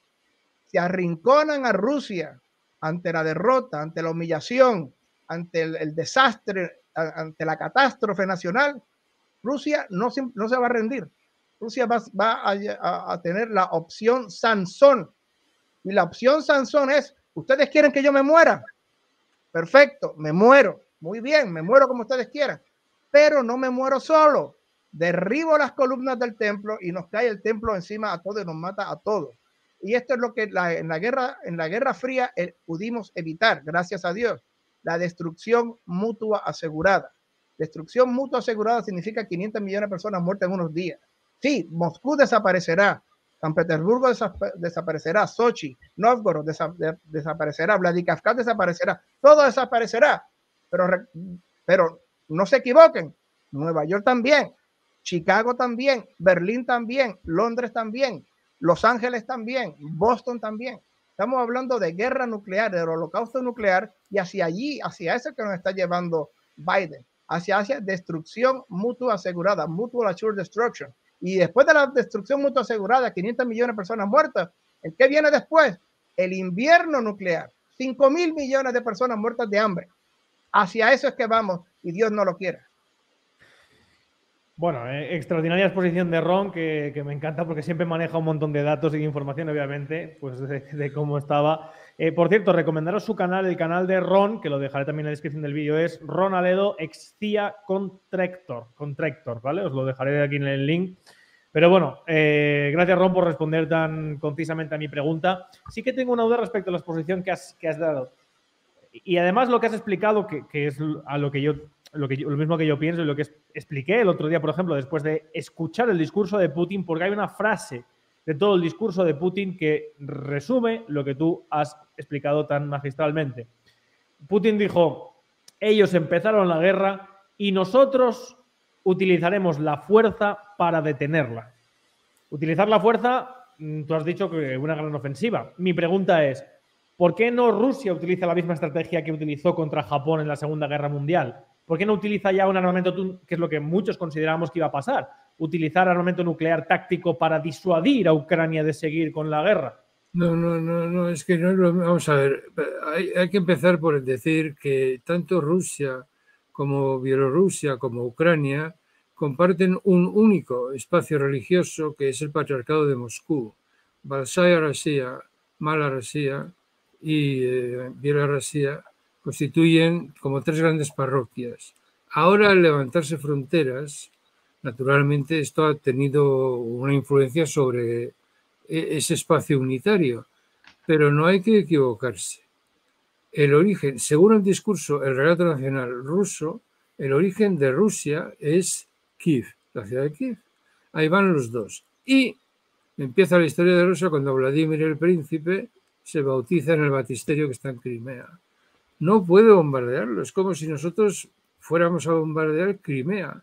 Franco podía, no sé, bombardear y bombardeaba los barrios populares y se abstenía de bombardear el barrio de Salamanca, que eran los suyos. Pero aquí no pasa eso, no es así la, la, historia no va de esta manera, o sea, es, es coadonga, es decir, no, Putin es, aunque parezca que no, es un hombre muy religioso, va a misa con su velita y se lo cree. Y eso de que los, eh, se pueda romper eso ahí, pues le causa graves problemas. Y no va a arrasar Ucrania. Si no, podría haberlo ya hecho, claro. No lo quiere hacer. Eso explica muchas cosas. todo finalmente, como esto es una sociedad libre, todo se sabe. Sabemos que Putin quería hacer una cosa limitada. Sabemos que los Estados Unidos no le dejaron a Bennett que, aportase su grano de arena, bueno, que se acabase ahí la guerra, no, no querían. Y luego, claro, pues desgraciadamente una cosa lleva a la otra y hemos terminado en lo que hemos terminado, pero efectivamente esto en su origen no iba a ser eso. Quiero, Claro, pero los, pero los Estados Unidos sí lo querían, siempre lo han querido y lo siguen queriendo, y no ahora mismo ya han mandado la mierda del plan chino porque no quieren oír hablar de paz. No quieren. Embajador, eh, eh, embajador, perdón, un momento. Hay muchas preguntas de por qué Europa está como está, por qué Europa no reacciona. Voy a poner un comentario para que os deis cuenta de lo que está pasando en Europa. Mira, de aquí hay una persona que seguramente ha superado una anencefalía, que es el nacimiento sin el encéfalo, y ha llegado mágicamente a la edad adulta. Después de la exposición con datos objetivos que ha hecho Ron, a esta persona se le ocurre comentar, entonces dejamos a Rusia invadir el mundo entero. Muy bonito lo que decís, se nota que no muere familia nuestra. O sea, aquí estamos explicando lo que sucede en clave de fuerza. La política es la lucha por el poder, en clave de fuerza.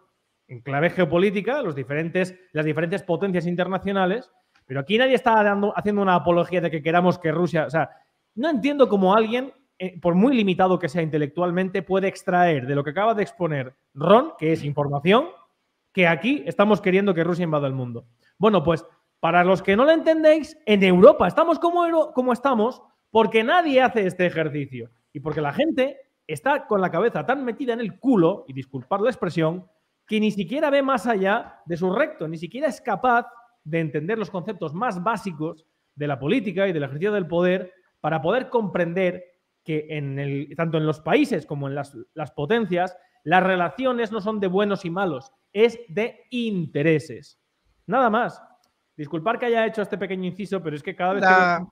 Rubén, si me permite, la persona que hizo la pregunta, de verdad, que vaya ahora mismo a Google y que ponga Ucrania, Rusia, diciembre del 2013. Ucrania, Rusia, diciembre 2013.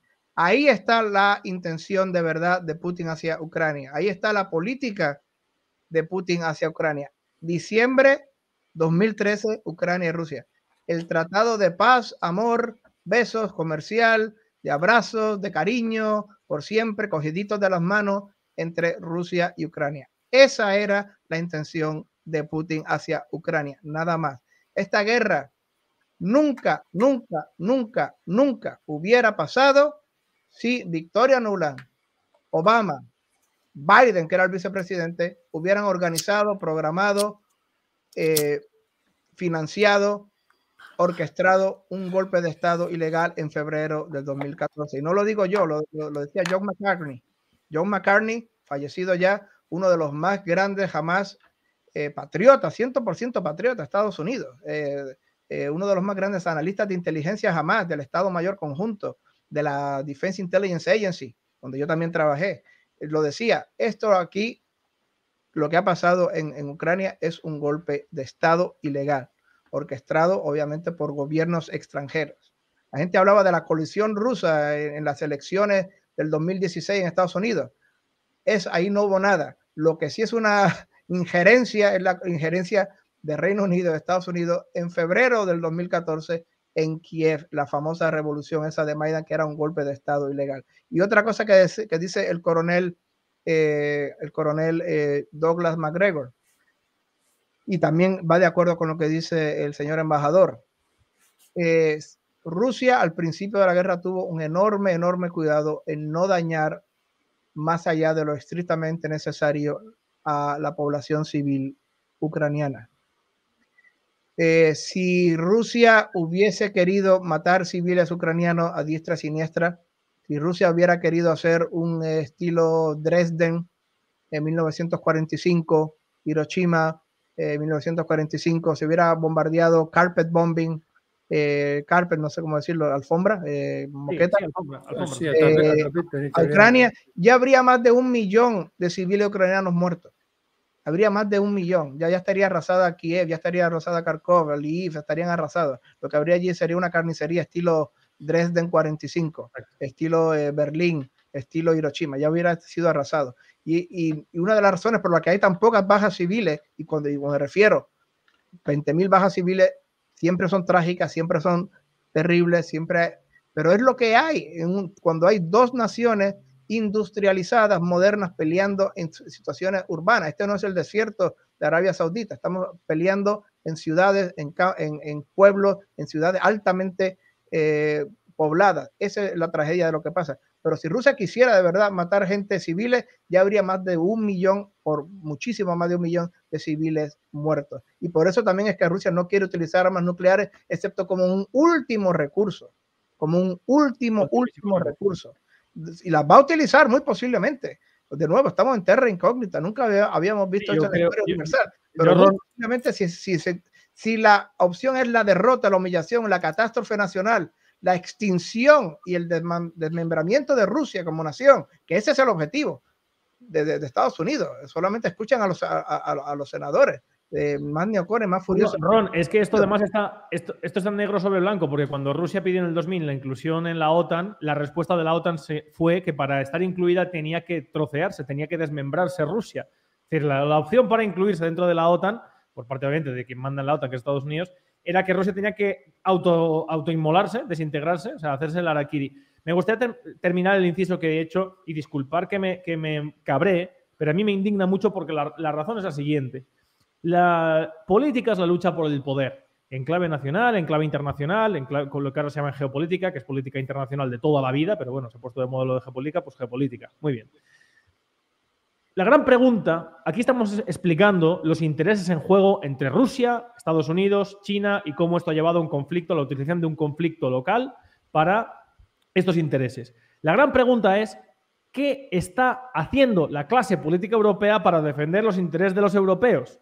Porque el gran problema que tenemos en Europa es que tenemos una clase, una clase política puesta Lean ustedes las memorias de Henry Paul Spack, primer secretario general de la OTAN, el belga, que escribió cómo a la caída del nazismo, donde triunfa la URSS, obviamente, eh, se pone un gobierno afín a la URSS, y donde triunfa Estados Unidos, se ponen partidocracias, estados títere de Estados Unidos. Y esto ha durado hasta hoy. En Europa no existe independencia, no existe carácter, no existe nadie que sea capaz de primar políticamente los intereses de Europa por encima de los intereses particulares como clase política puesta.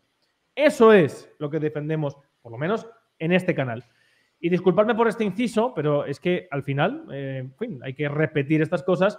Me gustaría, para no tenernos aquí hasta las tantas, pasar a, otro tema. Ya hemos visto las causas, eh, el desarrollo y a dónde vamos. Pero en este último año, tanto Ron como embajador ha habido un elemento clave que vamos off the record, que es el del Nord Stream. Eh, la provisión energética hegemónica por parte de Estados Unidos y el aislamiento energético es una cosa que, está, que estaba intentando Estados Unidos. Estados Unidos no lo consiguió del todo, pero dijo, bueno, como no lo consigo del todo, pues me cargo la manguera y hasta luego. Y recientemente yo hice un directo sobre el artículo publicado por Seymour Hersh, en Europa no se le conoce y la gente dirá, bueno, pues un periodista, ¿no? Como cualquier otro. Seymour Hersh es premio Pulitzer, es un grandísimo periodista investigador y hizo un artículo brillante, no solamente por la calidad literaria que le caracteriza, sino dando datos, dando información, dando horas, dando fechas, dando nombres y toda una serie de elementos que, como se investiguen, se pueden comprobar fácilmente si, la información que dio Seymour Hersh era correcta o no, pero que redundaba finalmente en la idea de que finalmente fue Estados Unidos quien eh, voló el Nord Stream 1 y el Nord Stream 2. O sea, al respecto, ¿qué tenéis que comentar? Si quieren que empiece el embajador. No es la primera vez que los Estados Unidos de América se cisca en la legalidad internacional. Te voy a dar un ejemplo conocido, recogido en las actas de Naciones Unidas tuvieron la idea, yo no sé si buena, mediana o mala, bueno, yo creo que muy mala, de minar los puertos de Nicaragua en los días de la contra. Y claro, resulta que el derecho internacional público exige que el bloqueo no sea virtual, por así decirlo, de minas, sino real. Por esta razón se condenó a la Alemania nazi, a la Alemania de la Kriegsmarine de Dönitz, se le condenó en el proceso de, de Nuremberg. Bien, Pues eh, Nicaragua, la pequeña Nicaragua, llevó a los Estados Unidos a pleito ante el Tribunal Internacional de Justicia por eso y ganó. De tal manera que los americanos tuvieron que renunciar a la, a la salirse, vamos, de la jurisdicción. Me parece que es el artículo 68 de la Carta, ¿no? Se fueron de la, del, Tribunal del Tribunal Internacional de Justicia de la Haya por eso. O sea que, como se ve, no es la primera vez. Organizaron, desgraciadamente, el golpe de Estado de Honduras que desapareció a 163 personas y cuyos detalles llegaron incluso a la Comisión de Derechos Humanos en Ginebra. Eh, dieron un golpe de Estado. ¿Dónde no han un golpe de Estado? Si es que esto es un desmadre. Si es que a mí lo que me pone nervioso es que un país como Estados Unidos, que es una gloria, eh, la geografía es un país increíble. ¿Cómo funciona? Lo que han hecho en 100 años, bueno, increíble. De pronto, a la hora de salir al exterior, salen con golpes de Estado y con barbaridades, estas crueldades. Es, que es incomprensible. de verdad, no, no lo acabo de, asumir. Bueno, no sé el número de veces que han invadido América Latina con la doctrina Monroe, 25, posiblemente más. Bien. Eh, y en, bueno, el incidente de falsa bandera de Tonkin que llevó a la guerra de Vietnam. O sea, hacen como que les han bombardeado y entonces van al Congreso y dicen tenemos que defendernos, ¡pum! Vietnam. Bueno, es una cosa. O sea que, mm, mm, bueno, Mossadegh, se cargaron a Mossadegh, por lo cual tenemos a los ayatolas en Irán. Perdimos a Irán, que posiblemente es el país más refinado del mundo. O sea, usted, embajador, conoce la trayectoria de, de Seymour Hersh como periodista. Que si la conozco, no, no, ¿quién no la conoce? Te quiero decir, estás hablando del periodista de investigación legendario más famoso de los Estados Unidos de América. Es el que descubrió My Lai la masacre de My Lai en Vietnam. Todo el mundo sabe quién es. Y luego se metió con Kennedy.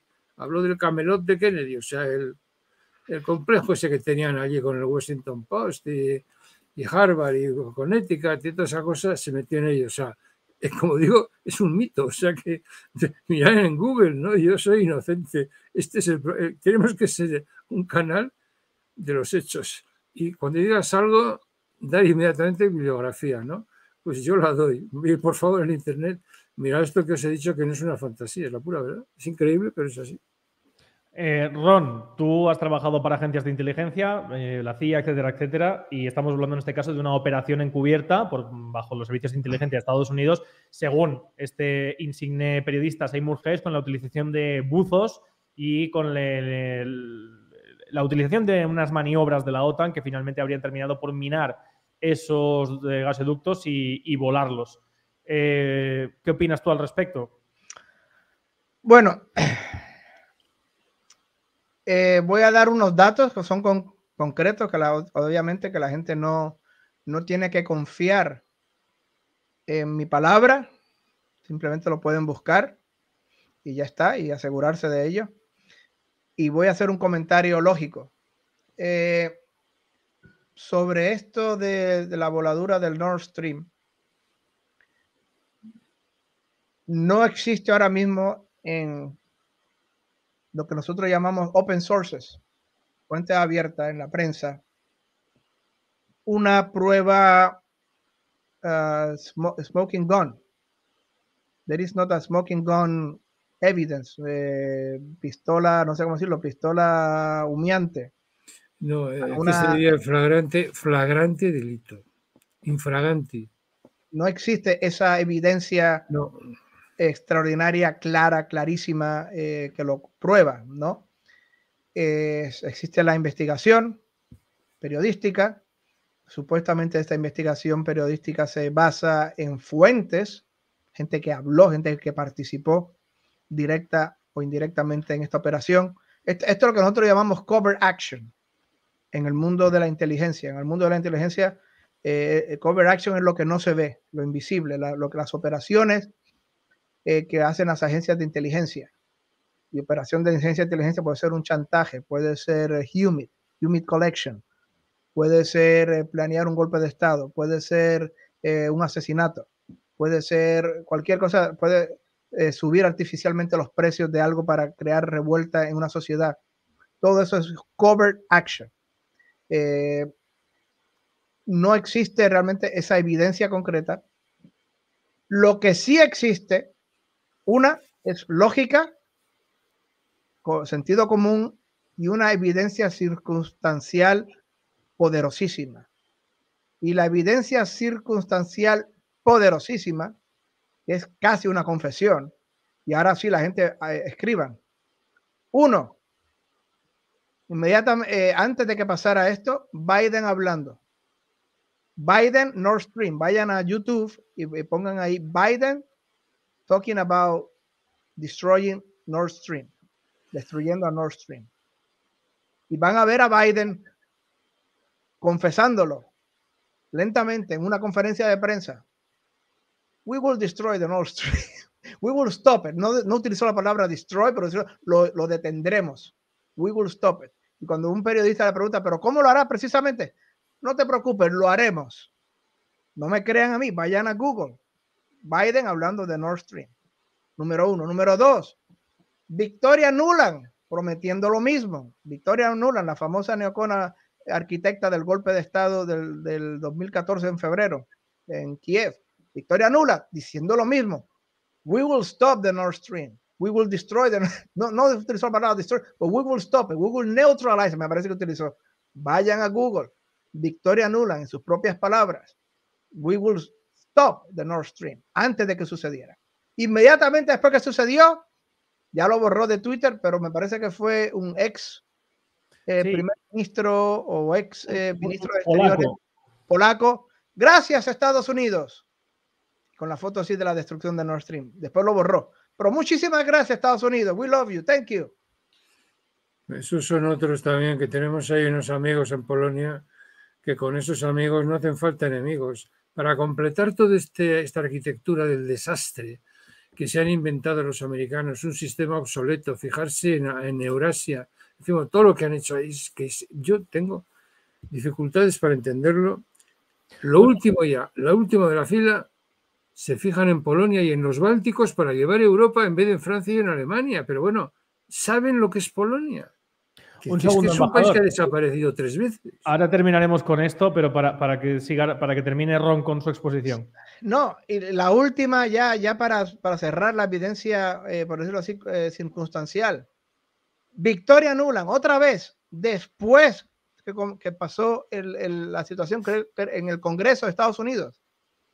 Creo que estaba siendo interrogada o entrevistada en el Congreso, en pleno del Congreso por el Senado. Me parece que era el senador Marco Rubio, me parece, o el senador eh, Ted Cruz, Ted Cruz de Texas, uno de los dos, no estoy seguro, me parece. Estaban hablando, preguntándole, y ella viene y dice, se le zafó, como se le zafó lo de los eh, laboratorios también al principio con Marco Rubio. Eh, we are very happy that the Nord Stream está hecho chatarra en, el fondo del océano. Estamos muy contentos de que el Nord Stream está hecha chatarra en el, fondo del océano. Lo confesó.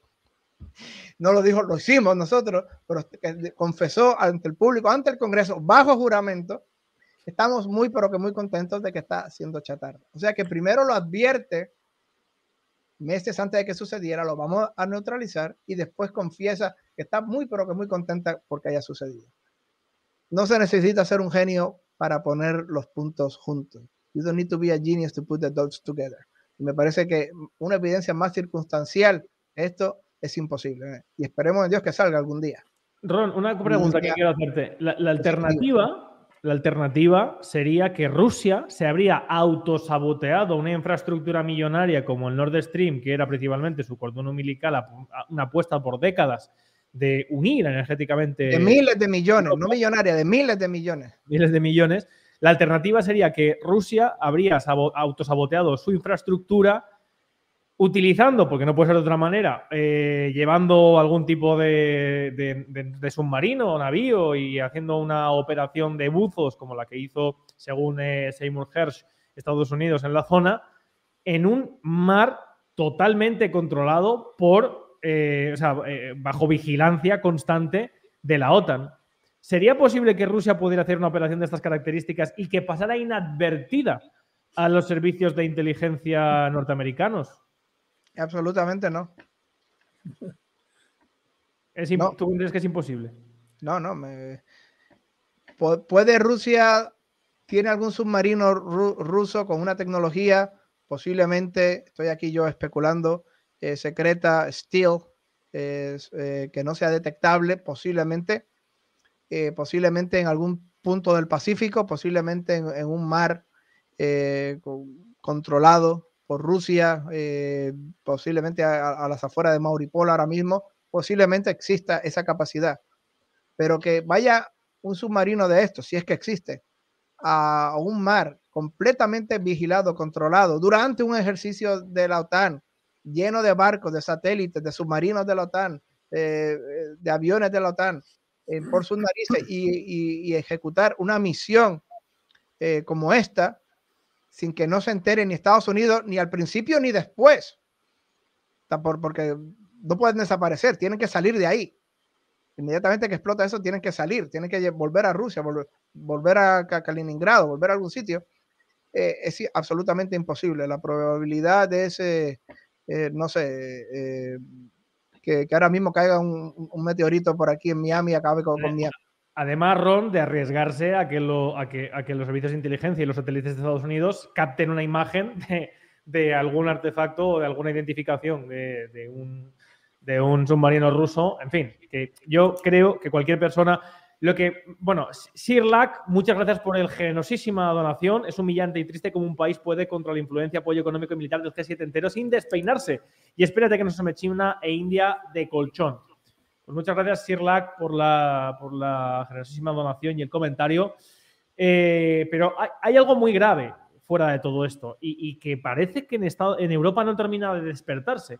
Estamos hablando con, digamos, con, no solamente con la lógica, sino con las pruebas iniciales y con la cronología de los hechos que ha explicado también Ron, de que Estados Unidos habría realizado una acción de guerra en territorio europeo contra los intereses de Europa.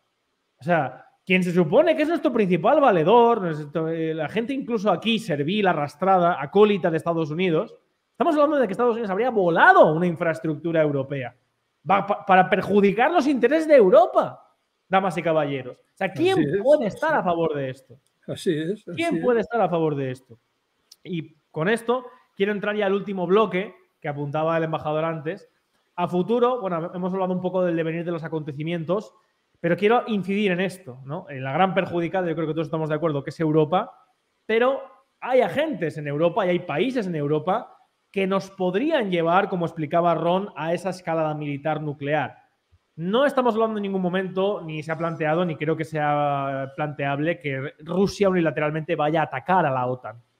Pero ya hemos visto, por ejemplo, con el famoso caso este de hace unos meses, en el que eh, aterrizaban unos misiles mm, ucranianos en suelo polaco, como Polonia y Lituania, y especialmente el gobierno de Zelensky, están dispuestos a un conflicto abierto entre la OTAN y Estados Unidos. Es decir, hay países dentro de la Unión Europea, desde luego Polonia, que quieren un conflicto abierto con Rusia y eso nos lleva indefectiblemente a un cataclismo nuclear.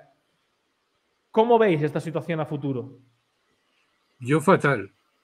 Yo fatal porque no es que conozca mucho la historia de Polonia, pero algo sí. Entonces, Polonia, el récord que tiene detrás es muy alarmante. Es decir, eh, Polonia creó una institución que se llamó la Confederación Lituano-Polaca que iba de mar a mar, o sea, del, Mar Negro al Báltico, ¿no?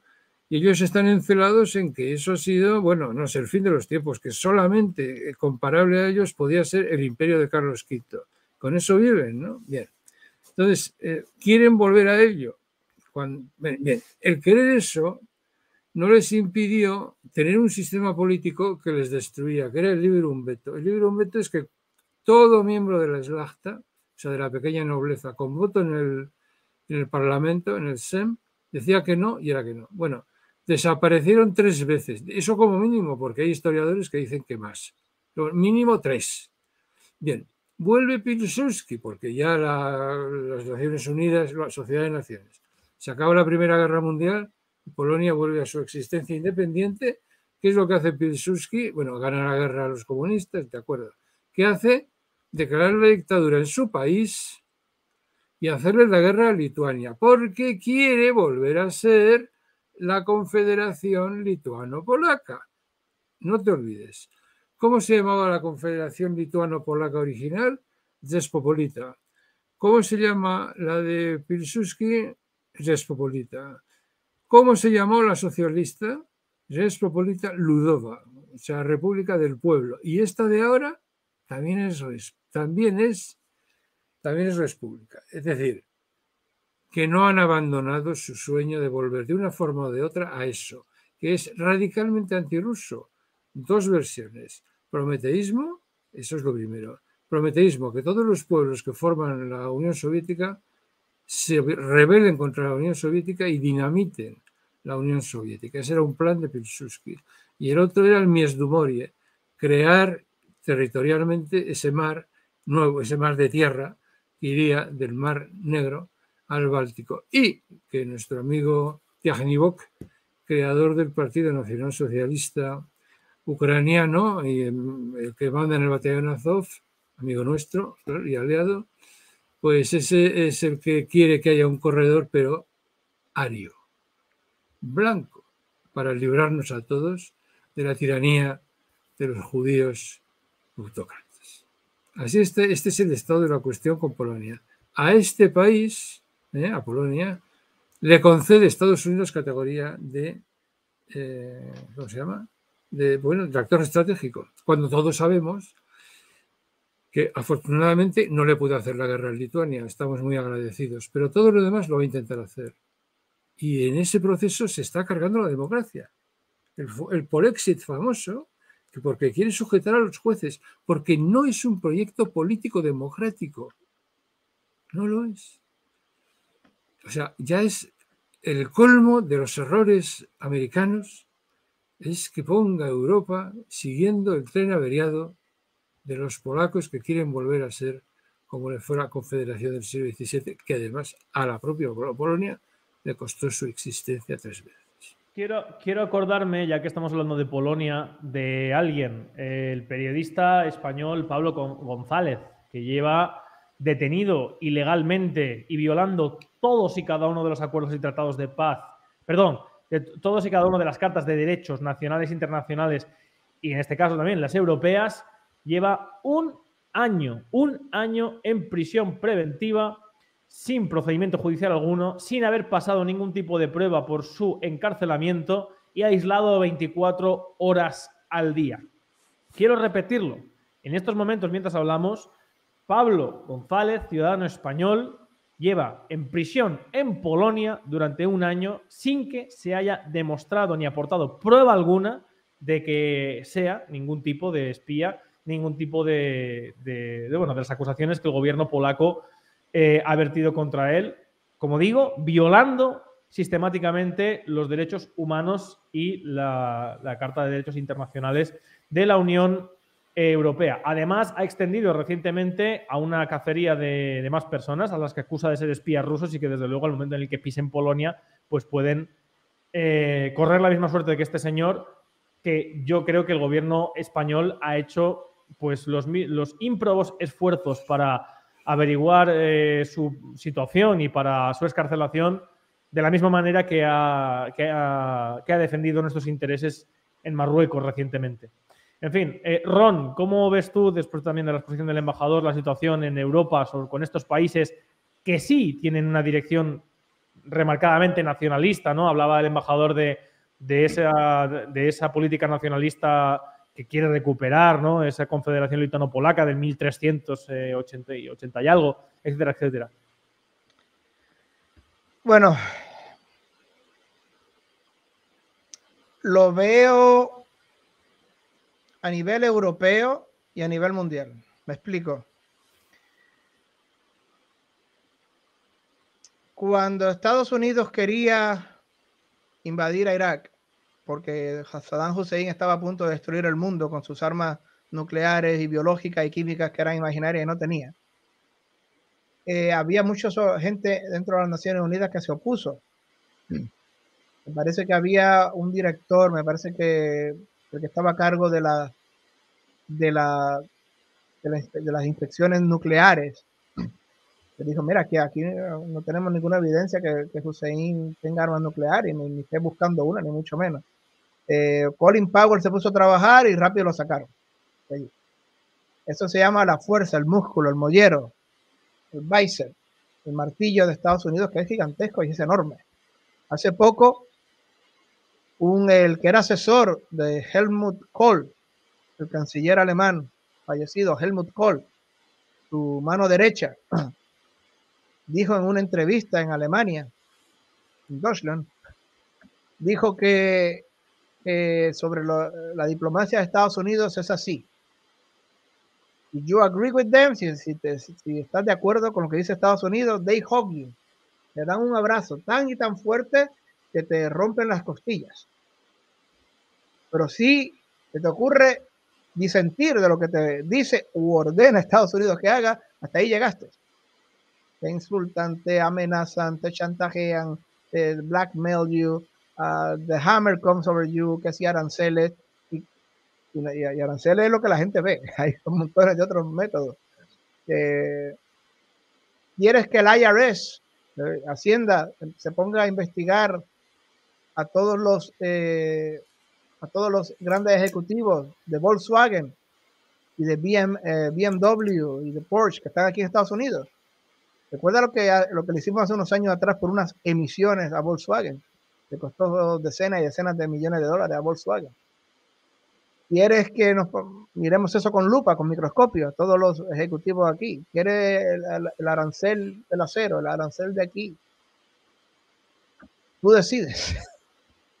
Así funciona la diplomacia de Estados Unidos. Y Estados Unidos obviamente está ejerciendo todo su poder político, militar, económico, diplomático, para que todo el mundo cante la canción que Estados Unidos quiere que cante. Ya está, es, es poder one on one. Toda ese arancel, amenazas, eh, todo lo, que pueda una superpotencia, primera superpotencia económica del mundo pueda hacer. Y obviamente la gran mayoría de Europa está siguiéndole el juego. Hay algunos países que por razones históricas, culturales, ideológicas, religiosas, pues se resisten. estoy hablando de Serbia, estoy hablando últimamente de Croacia también, estoy hablando Orban, Orban de Hungría, A, seguir el juego. Pero la gran mayoría, a mayor o menor medida, van a seguir el juego porque nadie quiere, oye, las visas de tu país las vamos a reducir, ¿sabes? Eh, emigrantes oye, tus ejecutivos aquí de, tu empresa, los vamos a mirar, los vamos a revisar, eh, eh, Hacienda los va a revisar a ver qué pasa. Eh, tal cosa, nadie quiere eso, nadie quiere enemistarse, ni, muchísimo menos, van a seguir el juego, van a seguir como Lorito lo, lo que diga, excepto con las excepciones. Hay unos países más que otros, así como hay países que cultural, ideológica, históricamente se resisten, hay países que cultural, ideológica, históricamente son los número uno. Sí, hay, que matar a Rusia, hay que destruir a Rusia. Los tres países bálticos, eh, Lituania, Estonia y Latvia, y Polonia. Y eh, aquí, eh, el que no lo sepa, tenemos la ciudad de Pittsburgh, está llena de polacos. La ciudad de Pittsburgh, aquí en Estados Unidos, es, una ciudad, así como Boston es la ciudad típica irlandesa, llena de irlandeses, de, de descendientes de irlandeses. Pittsburgh es la ciudad típica de, de, polacos aquí en Estados Unidos. Y, y, adivine cuáles son los chistes de Pittsburgh. El, el 90% de todos los chistes de, la cultura de Pittsburgh es eh, odio a Rusia. Eh, matar rusos. E, es, algo cultural que viene de siglos, que viene de, la cultura. Estoy hablando aquí como, como culturalmente se habla, no sé, en España de, de, muchísimas cosas, como juega el Barça y juega el Real Madrid pues así, el odio cultural de, de, de, los polacos hacia Rusia es, gigantesco, el odio eh, de los tres países bálticos hacia Rusia es gigantesco. Eh, se creen invadidos, se creen que Rusia sigue siendo la Unión Soviética, tienen una minoría de rusos que viven en esos países, que son los, los, los, ciudadanos de tercera y de quinta, eh, y el odio es ancestral. Eso a nivel europeo. Y obviamente están los países más pragmáticos como Alemania y Francia, pero que tampoco se quieren meter, tampoco se quieren mojar mucho, que, están entre medio de la balanza, que sí quieren diplomacia, pero sienten el martillo y la fuerza de Estados Unidos y la, Unión Europea y, la Úrsula por el otro lado, y, están haciéndolo, siempre se Eh, Alemania dijo que no a los tanques Leopard. Yo lo, yo lo, yo lo predije, dale, dale dos o tres semanas Deja que, el embajador de Estados Unidos se reúna con Scholz dos o tres veces. let the ambassador in Berlin meet, meet him a few times, a few times. And, ya se, lo, se, los han dado ya. Ya, ya se los han dado. Ya verá que cambiará y cambiaron la presión de Estados Unidos eh, es muy, pero que muy fuerte. No, no, no, muy fuerte. Sí, llevaron, y eh, llevaron a la, al cese, a la, a la, dimisión de la ministra de, de Asuntos Exteriores alemana. Eh, así, porque ella, ella dijo la verdad. Esto es una guerra entre la OTAN. Estamos en guerra con Rusia. Lo dijo directamente, es la verdad. No es una guerra para que la gente entienda. Otra vez, volver, volviendo al asunto militar. Militares en activo militares en activo en uniforme de Estados Unidos en Ucrania, muy pero que muy pocos, poquísimos. Es verdad, en la embajada siempre están los Marines. Los US Marines siempre hay 100, 200, 300 Marines protegiendo la embajada. Ya está. Eso sí. Ahora bien, funcionarios civiles de Estados Unidos, sabrá Dios. Eso no se cuenta. Son la misma cosa, son funcionarios que trabajan para Biden. Eso no se cuenta. Pero aparte de eso, hay miles de soldados en activo en Polonia, en Rumanía, en todas esas áreas de la OTAN que están trabajando 24/7 a favor de Ucrania, dándole inteligencia, los satélites, los radares, los vuelos de los Ajax sobre Rumanía, mirando a las tropas rusas, proveyéndole logística, de todo. Es una guerra entre Estados Unidos, la OTAN y Rusia. Es una guerra indirecta. El ucraniano es la carne de cañón. El ucraniano es lo, que va al meat grinder, es lo que va a la carnicería pero la guerra no es entre Ucrania y Rusia, es una guerra entre Estados Unidos y Rusia en la que Estados Unidos está utilizando como carne de cañón, que los que mueren son los ucranianos. Y la, y la ministra dijo la verdad. Gary War. Entonces salió el, el, secretario general, oh no, we're not at war with Russia. Pero eso no se lo cree nadie.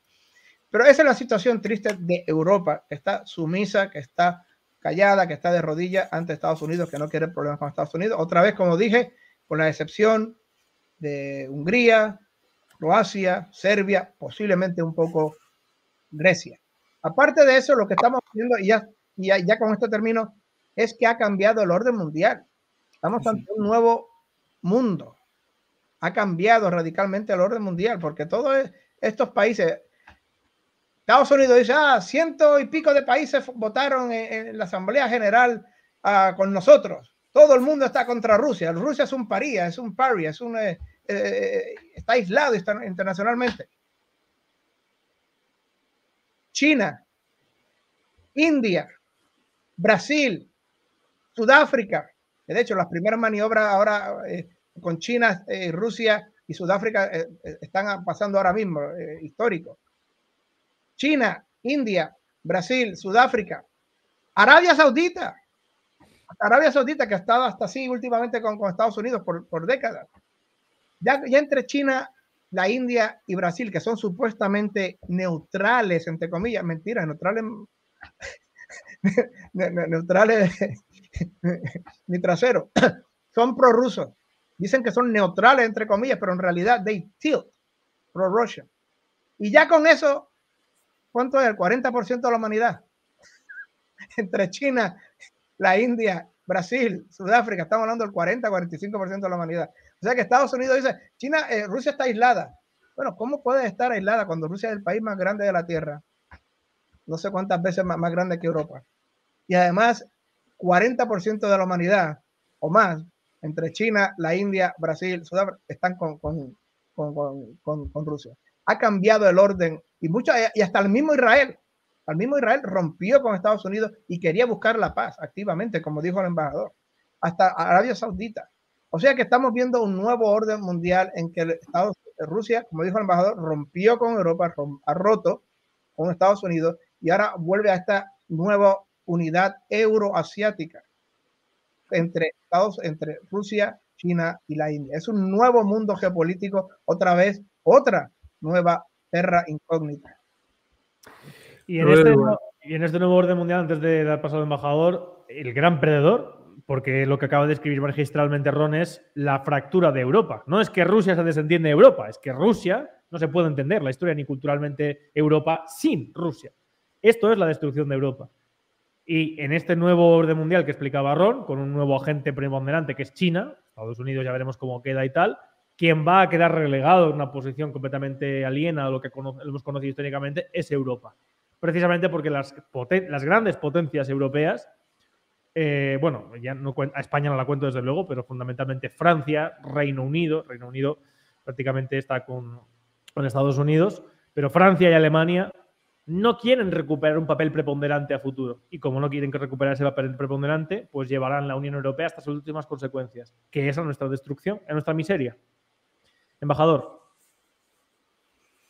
Dibujas un panorama que es, por desgracia, yo compartible con el que yo tengo. Pero no tendría por qué ser así. No acabo yo esto de entenderlo, no lo acabo de entender. Tan difícil es conseguir un modo de unión entre nosotros. Yo no pienso en una constitución, creo que fue un error gravísimo. No pienso en una federación, sería un error imposible porque la gente no lo quiere. Pero sin embargo, lo que sí es factible es que las competencias referidas a defensa y referidas a política exterior, o sea, decidir quién es tu amigo y tu enemigo, se ponen en común. Luego los franceses hablan francés. Esto come con mantequilla, eh, en fin, etcétera. Los portugueses comen mucho bacalao, hablan portugués, etcétera, etcétera. Pero las decisiones de quién es amigo y enemigo y las Fuerzas Armadas que lo mantienen, esas son comunes. Otra cosa, aunque esto suene extraño a mis amigos militares, creo que ha llegado la hora de los mercenarios.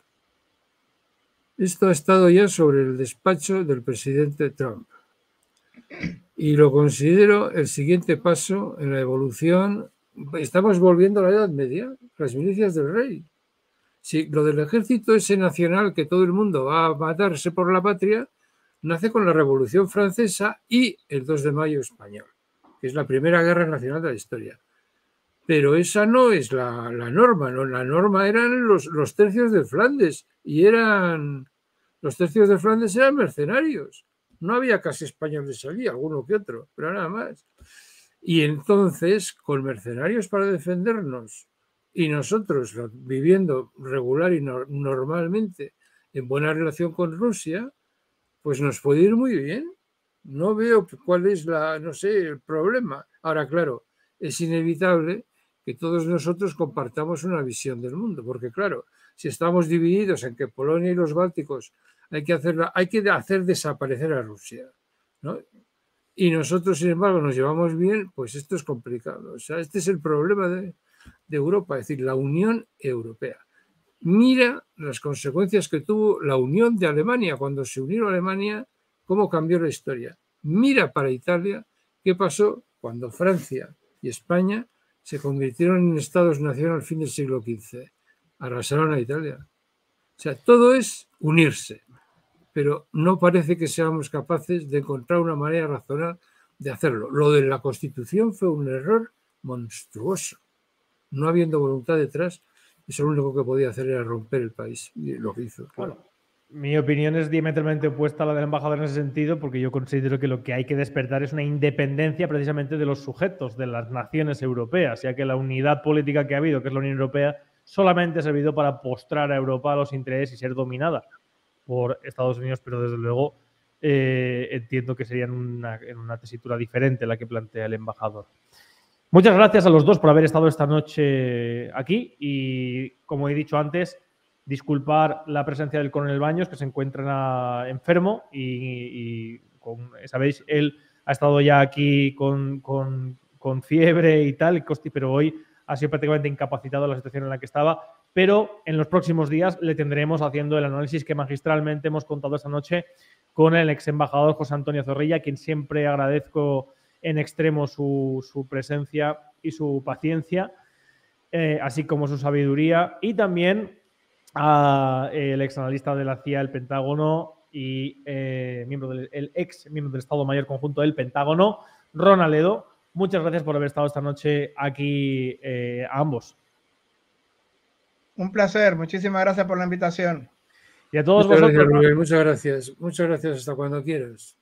Y a todos vosotros, nada más que deciros que muchas gracias por los apoyos, el like, que es el instrumento que tenemos para llegar a más gente en estas plataformas, que mientras podemos y como podemos, con las limitaciones de los algoritmos, pues seguimos planteando estas alternativas para que una parte de la sociedad, en este caso española, eh, tengan información eh, por parte de expertos y eh, acceso a fuentes que no se dan en los medios de comunicación. Así que muchas gracias, agradezco vuestros, vuestros likes y vuestro apoyo, así como vuestros superchats. Nos veremos en lo sucesivo. Salud y libertad colectiva. Hasta pronto.